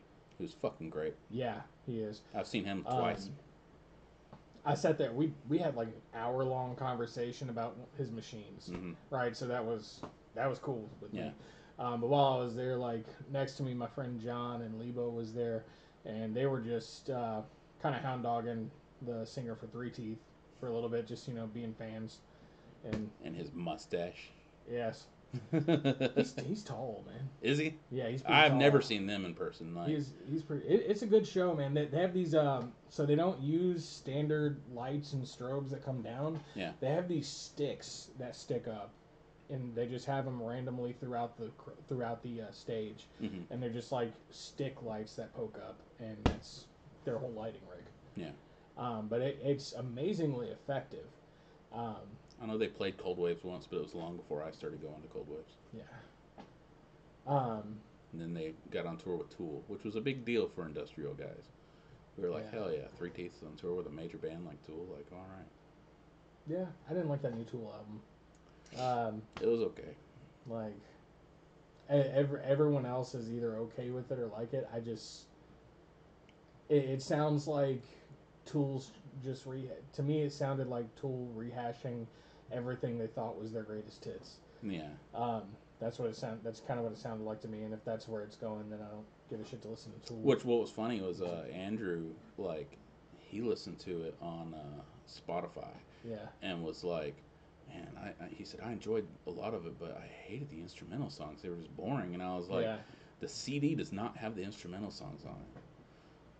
Like when you buy the CD, because and I think it's because they don't have enough time to put all that shit on it. No, Yeah. like the CD just can't physically hold that long of a fucking thing, and uh, so like it gives you a download, and that has the instrumental tracks on it. But like that's, I mean, I- thought it was okay. I did make a lot of fun of it, especially like when everyone was doing their end of the year Spotify thing. yeah. And this one girl was like, I don't even like Tool that much, but it says Tool's like my most listened to band. And I said, Well, when your album's five hours long. Yeah, that's not hard to do.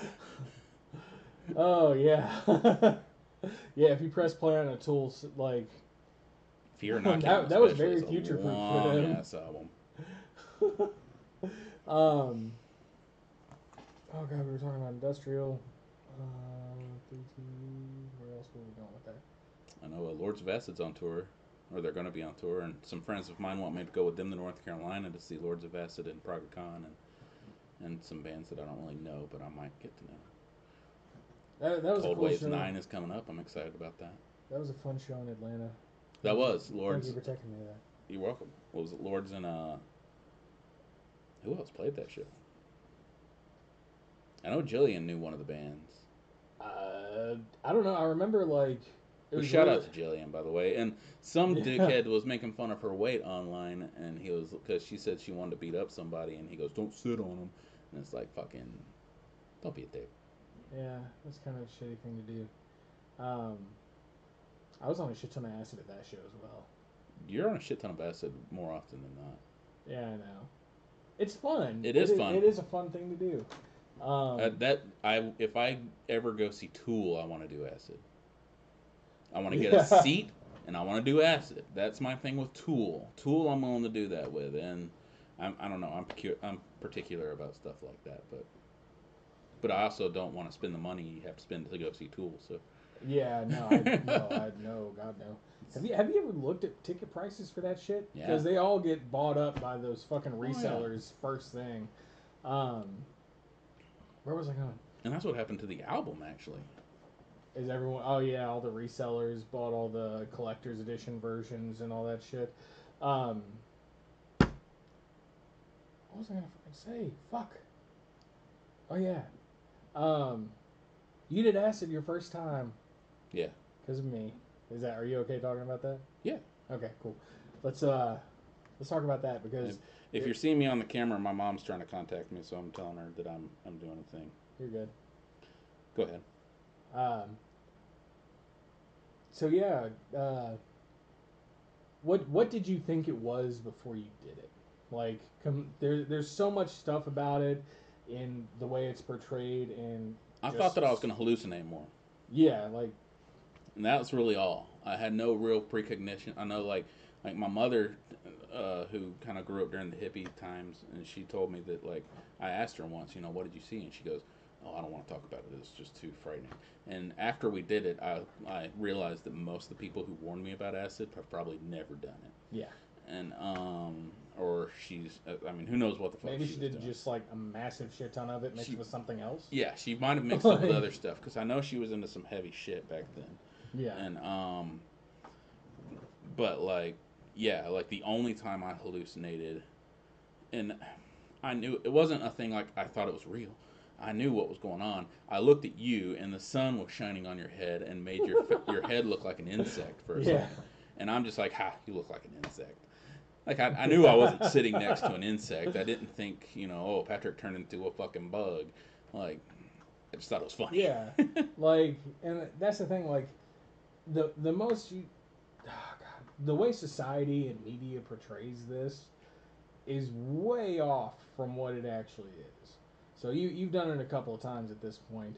It's it very much just the most you get out of it as far as visuals is if like you're looking at an in-depth pattern just wiggles a little bit you know I did because when we retired to my office, um, which is where things got not weird in a scary way, but like we turned on I was some talking music. about a Serbian film He was talking about a Serbian film. I turned on some music and I put on the visualizer, and I could see figures dancing in the visualizer. yeah And so I wanted to listen to music and watch people dance. And Patrick's over there talking about the Serbian film. And I just wanted to be like, I wanted to turn around and be like, dude, shut the fuck up. I'm trying to watch these people Which dance. you should have done. But I didn't want to be impolite because he's a guest at my house. He brought the drugs, and like Jay is sitting there, he's having a rough time, so he's getting high. Uh, he was smoking pot, and uh, but I'm just sitting there like, like in my head, I'm like, God damn, shut up.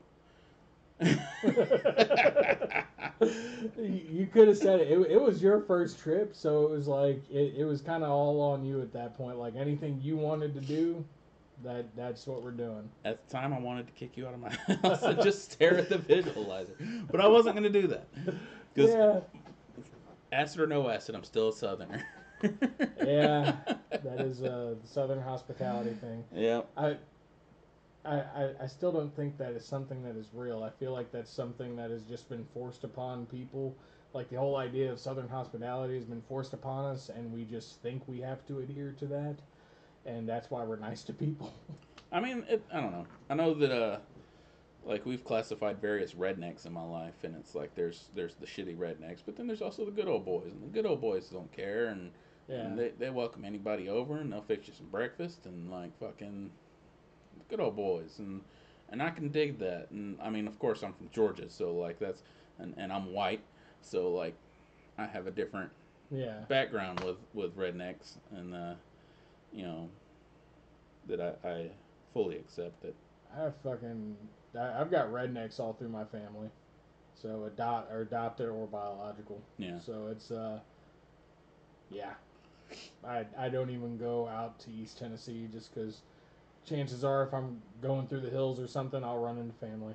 Yeah. I don't fucking give a shit to see. I know my, I always found it funny. Like like I there's a little neighbor boy that he was black, and I was friends with him, and my mom was like, "I'm just so proud of you that you're friends with him." I'm like, okay. I mean, we're just We're friends. we're friends. I don't understand what the big deal is, but all right. And Race is still a very, very. it was a tense thing. And So, I mean, it wasn't a tense thing because my mother, my mother is Episcopalian, so she kind of grew up very open minded about stuff, and my father is more of he's he's what I like to call the subtle racist, where Yeah. he's not like out, you know, like you know, f n words and stuff like that, but, but he's got a little bit of racism and I'm Like Yeah, he right. told my, my Well, I should have known they were black. yeah, like he told my sister that she shouldn't date black guys because they would like because they beat up their women or something and like I mean the last time I saw a guy beat up his wife beat up his girlfriend it was my mom's white boyfriend. Yeah. but uh so I mean there's just shitty people out there. Because I told my like I, I was dating a black girl for a little bit and I asked my sister if I said, Do you think my dad would have a problem with that? And she goes, I don't think he would care that you're dating a black person, but he wouldn't let me date one. like, oh, it's all. Dad would be like, oh, it's all pink on the inside. My dad was so goofy that first time I heard the word masturbation, I asked him what it meant, and he's like, "I'm not telling you that." A friend at school had to tell me what it was, using Beavis and Butthead as an example. Oh, masturbating is like when you're choking your chicken. Oh, I get it. That's how I Oh, learned God. about the word masturbating, and I've practiced it ever since.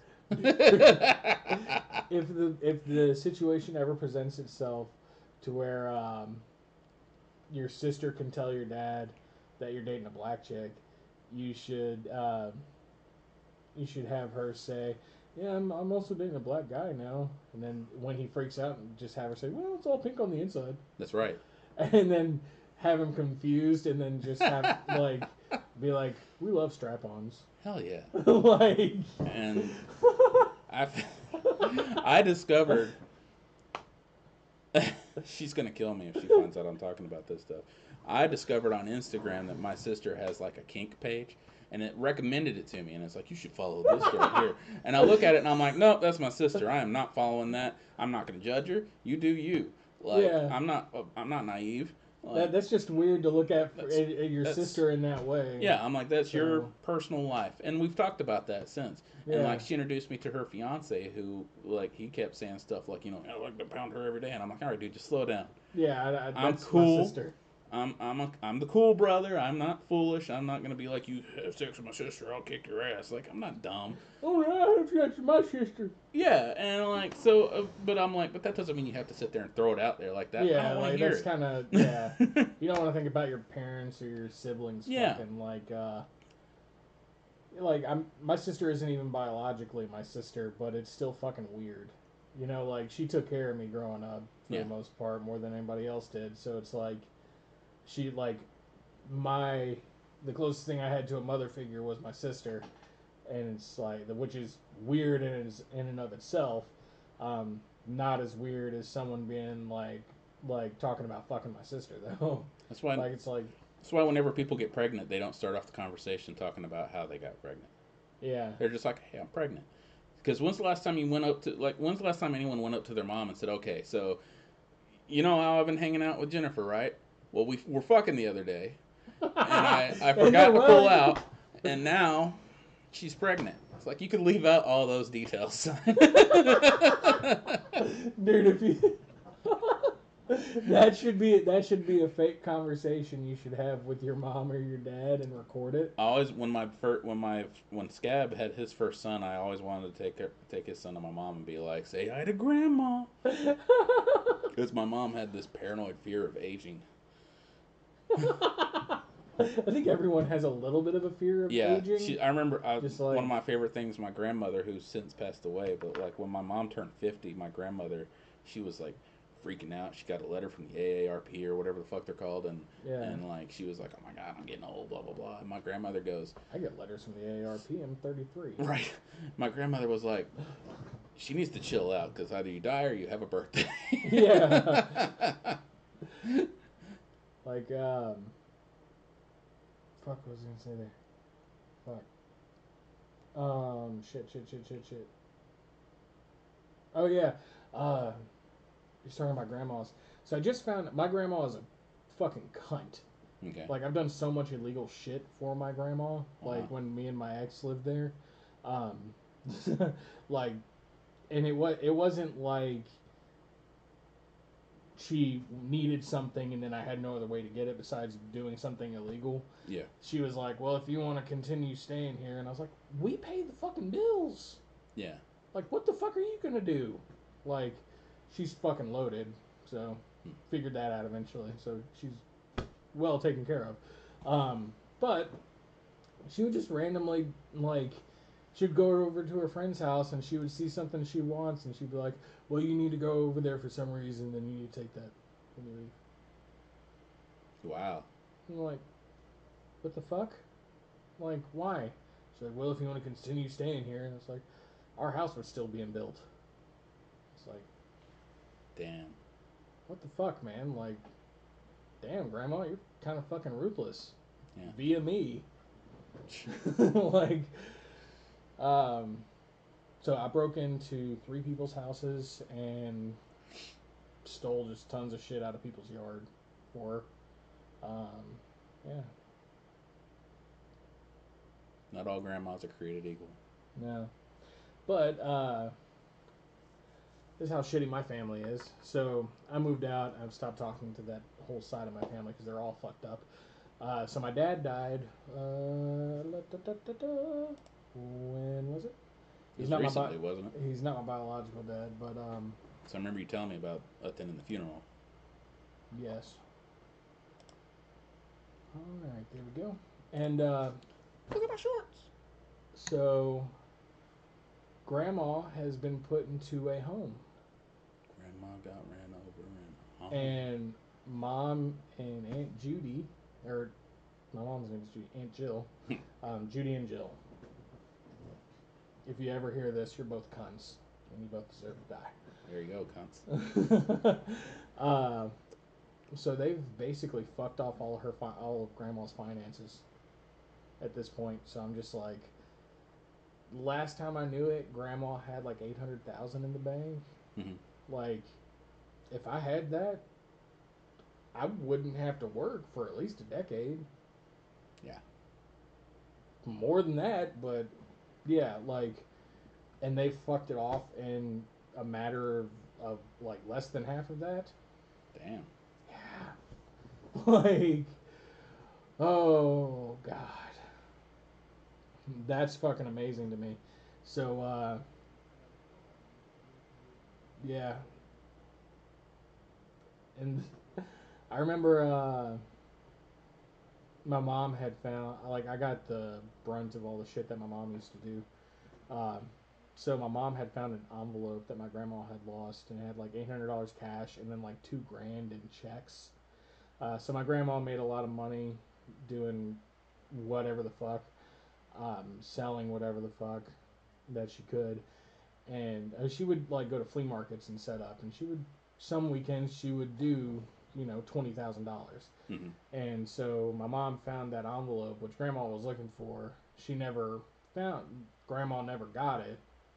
Mom found it though, and grandma never got it. So, Yeah. uh, but grandma blamed me for it. Right? So I'm like, yeah, you can only take so much of that shit before you leave. Yeah. Fuck that. So, um, I mean, I've done plenty of grimy shit in my life, but it's it wasn't something to where I was like I was living next door to my grandma at the time, and uh, I was like, dude, I, I only come over here when you ask me to come over. Yeah. like you watch me the whole time I'm over here. Like there's nothing that I can possibly do. Um, so it's it, it it feels good to know that she's being treated like shit in a home. Sitting there calling up like, Like, you know, I saw Happy Gilmore. Is she being treated by somebody like like Ben Stiller on that? oh yeah, she is. All right, good. I just want to make sure that. all right, all right. yeah. Or it's like, no, we don't do anything like that. Well, could you find someone? yeah. You trouble me for a nice warm glass of shut the hell up. I love that shit. Like, I especially love the fact that like the televised version of Happy Gilmore has an ending to that, where Happy throws him out a window. But that's not on the DVD version or anything. Is it not? Not that I remember. I've only seen it on the televised version. Like on the DVD version, they just leave. But on the televised version, he goes up to him and says, "I know what you've been doing, and I don't like it," and he throws him out a window. I remember that, but I, I don't know if I remember. I don't know if I remember a distinction between And them. and I and I remember sitting there seeing that on the televised version and being like, "Why wouldn't that be on every version? That's what everyone wanted to happen." Yeah. I don't know. Yeah. Of all the things you could cut out of Happy Gilmore, that Like that. That's one of the things you wouldn't. yeah, Uh, that feels like a Snyder removal. yeah, Like, have you noticed that anything that like, is it like, Zack Snyder makes, Zack is that his name? yeah. Makes the movies. I don't know. I don't fucking know. Dude. I can never remember. Um, is it Scott so, like- Snyder is this is the writer? I think Zack Uh, Snyder think- is the yeah. movie maker. Yeah. yeah. So like, Anytime I try to think of both of them, he can make some good movies. Like Yeah. the, barring the Martha thing, Batman versus Superman, the extended cut, like, is fine. Barring the Martha thing, that that was dumb. Um, and I'll continue saying that forever until I die. Martha. But uh same thing happened like when I saw The Watchmen in theaters, the movie just didn't make a lot of sense to me. But then I saw the extended director's cut and I was like, "Oh, okay, cool. It makes sense. The movie fucking works now. It's fine." Um and that's kind of the same thing with every Zack Snyder movie that I've seen like it it's kind of like I, fi- I think I figured out what happened what happens with his movies he may he's fantastic if you give him a three hour blank slate to fuck with yeah. but then you come in and say all right we got to cut it down to two hours and he just like it fer- seriously sounds like he just takes a finished version of the film starts highlighting random shit and deleting it Yeah. like I feel that way about uh, the Ghostbusters movie, the, the th- the third one with the girls. yeah Um 'cause I loved that movie. I know a lot of people didn't like it. I loved it, and I saw the director's cut first yeah and thought it was great. And then I watched the theatrical version, and it was missing so much good stuff that I was like, okay, this must be what people hate because, like, there's a whole sequence at the beginning of it where um, the gir- the the main character is like she's talking to all the she's trying to talk to all these people at this fucking college and like she's telling me, yeah I get to do a, le- lesson in the big room and everyone's kind of treating her like shit. And it just builds her character. And then when I Yeah. watched the theatrical version they cut all that shit off and started with her in the big room. And I'm like that just took everything away from her. And and there I mean there's some jokes that they cut out that I fucking love. There was a lot of shit that I had a problem with with the female one. So I feel like that sounds like a whole nother podcast. It, it is. It is because we're damn near at two hours. Yeah. So um I, I don't know what to fucking title this when I put it up so. Look at my shorts. That's what we'll ti- that's what that's what we'll title it. Awesome. All right uh we'll have to do this again 'cause this was definitely okay. Um I think this is probably the most talking that I've done in a podcast ever. I tend to so rant my podcasts, which are Yeah. Nerd Cult Underground. You can find it at leolegacy.com. All Satan, no wiener, baby. Dude, did I tell you I got uh, my friend's kid to say that? No. 'Cause No, I, he said the uh, he said the reverse of that. I'm sorry. oh, all wiener I- no Satan. Yeah. Um. So he's gay, and Mhm. it's it's not it's not a secret at all by any stretch of the imagination. Um. You ever meet a gay person? You can just tell they're gay. hmm Like, I've I've known this kid since he was eight. Like eight years old. His first sentence, I was like, yeah, he's gonna like cock when he gets older, right? Like, that's cool. Yeah, fair, fair That's his thing. Um, his parents have, have were vehemently against that. Um, is that a fucking word? Yeah. Okay. Vehemence is uh, Latin for violent, so they're violently against it. They were. Yes, they were actually. I So know that because I used to call myself uh, Imperator Microtus Pennsylvanicus, or Vehemence. Fuck, it was a big long thing of just a bunch of random yeah. Latin words that I put together that basically meant King Fieldmouse the Prostitute King or something like that, or Emperor Fieldmouse the Prostitute King. the Scortus. prostitute king. yeah, Famous Scortus, Oh, prostitute king. Um. or Famous Scortus Rex is the violent prostitute king. That's where I got that. So we were. Anyway, anyway so we were listening to uh, we were listening to Nerd Cult Underground at the time. I think it may have actually been um, Skeleton Crew or Comic Crypt. yeah that one Yeah. where all changed names, and uh, he said the uh, y'all y'all had been saying all Satan no wiener for a couple of episodes, and then uh, there was one episode where either you or Jay switched it up for like at one point, and he laughed his ass off at it because he was in the room listening to it with me, and uh, I was like, dude. Next time your dad starts like uh, getting onto you about being gay, just, just yell out like as mean as you can. Just yell out, "I'm all wiener, no Satan, All bitch!" wiener, no Satan. and then walk out of the room. We wanted to make T-shirts. I don't know why Jay never did. We were gonna make one that said "All Satan, no wiener," and one that said "All wiener, no Satan," one that said "Too fat for cocaine." Yeah, if he, if he would get fat people sizes in that shirt, Yeah. um, I can hook him up with a distributor for blank shirts, but he doesn't. He uh, he lets other people print his shit. he does that now. Yeah. He used to have a, a fucking printing press in his house, but I don't know what he did with it. Yeah, he needs to start doing that again. I, I just feel like that's you have more control that way, Yeah. right? Like I just He just I don't know if he has the time to fuck with it now because he runs like media for a tattoo parlor in Florida and he's yeah dealing with his kid all the time and then he also works for uh, Lyft in the offices and stuff like it. Yeah. Oh, he works in the office. I, I have a few people that work out there. That's Now he works from home, but he did used to work in the Yeah, that's what's up. Hell yeah. You know what? I would I would love to do that. Like I'm cool with my new job. I love my hours. Do they have overnight? Do you know? I don't know. Fuck. I You don't thought about. I, I looked into it because I had some problems with my job, but those problems have since been subsided. subsided, and so we'll see. Cool. Yeah. Um. What were we just talking about? We were trying to shut down the. Oh yeah. we're closing. Yeah, we're closing closing out shop. again. um. It's another false ending. So Field Mouse, thank you for coming out and Thank you for having me. It was playing fun. Sega with me, and yeah, listening to John or Mr. J be loud as shit.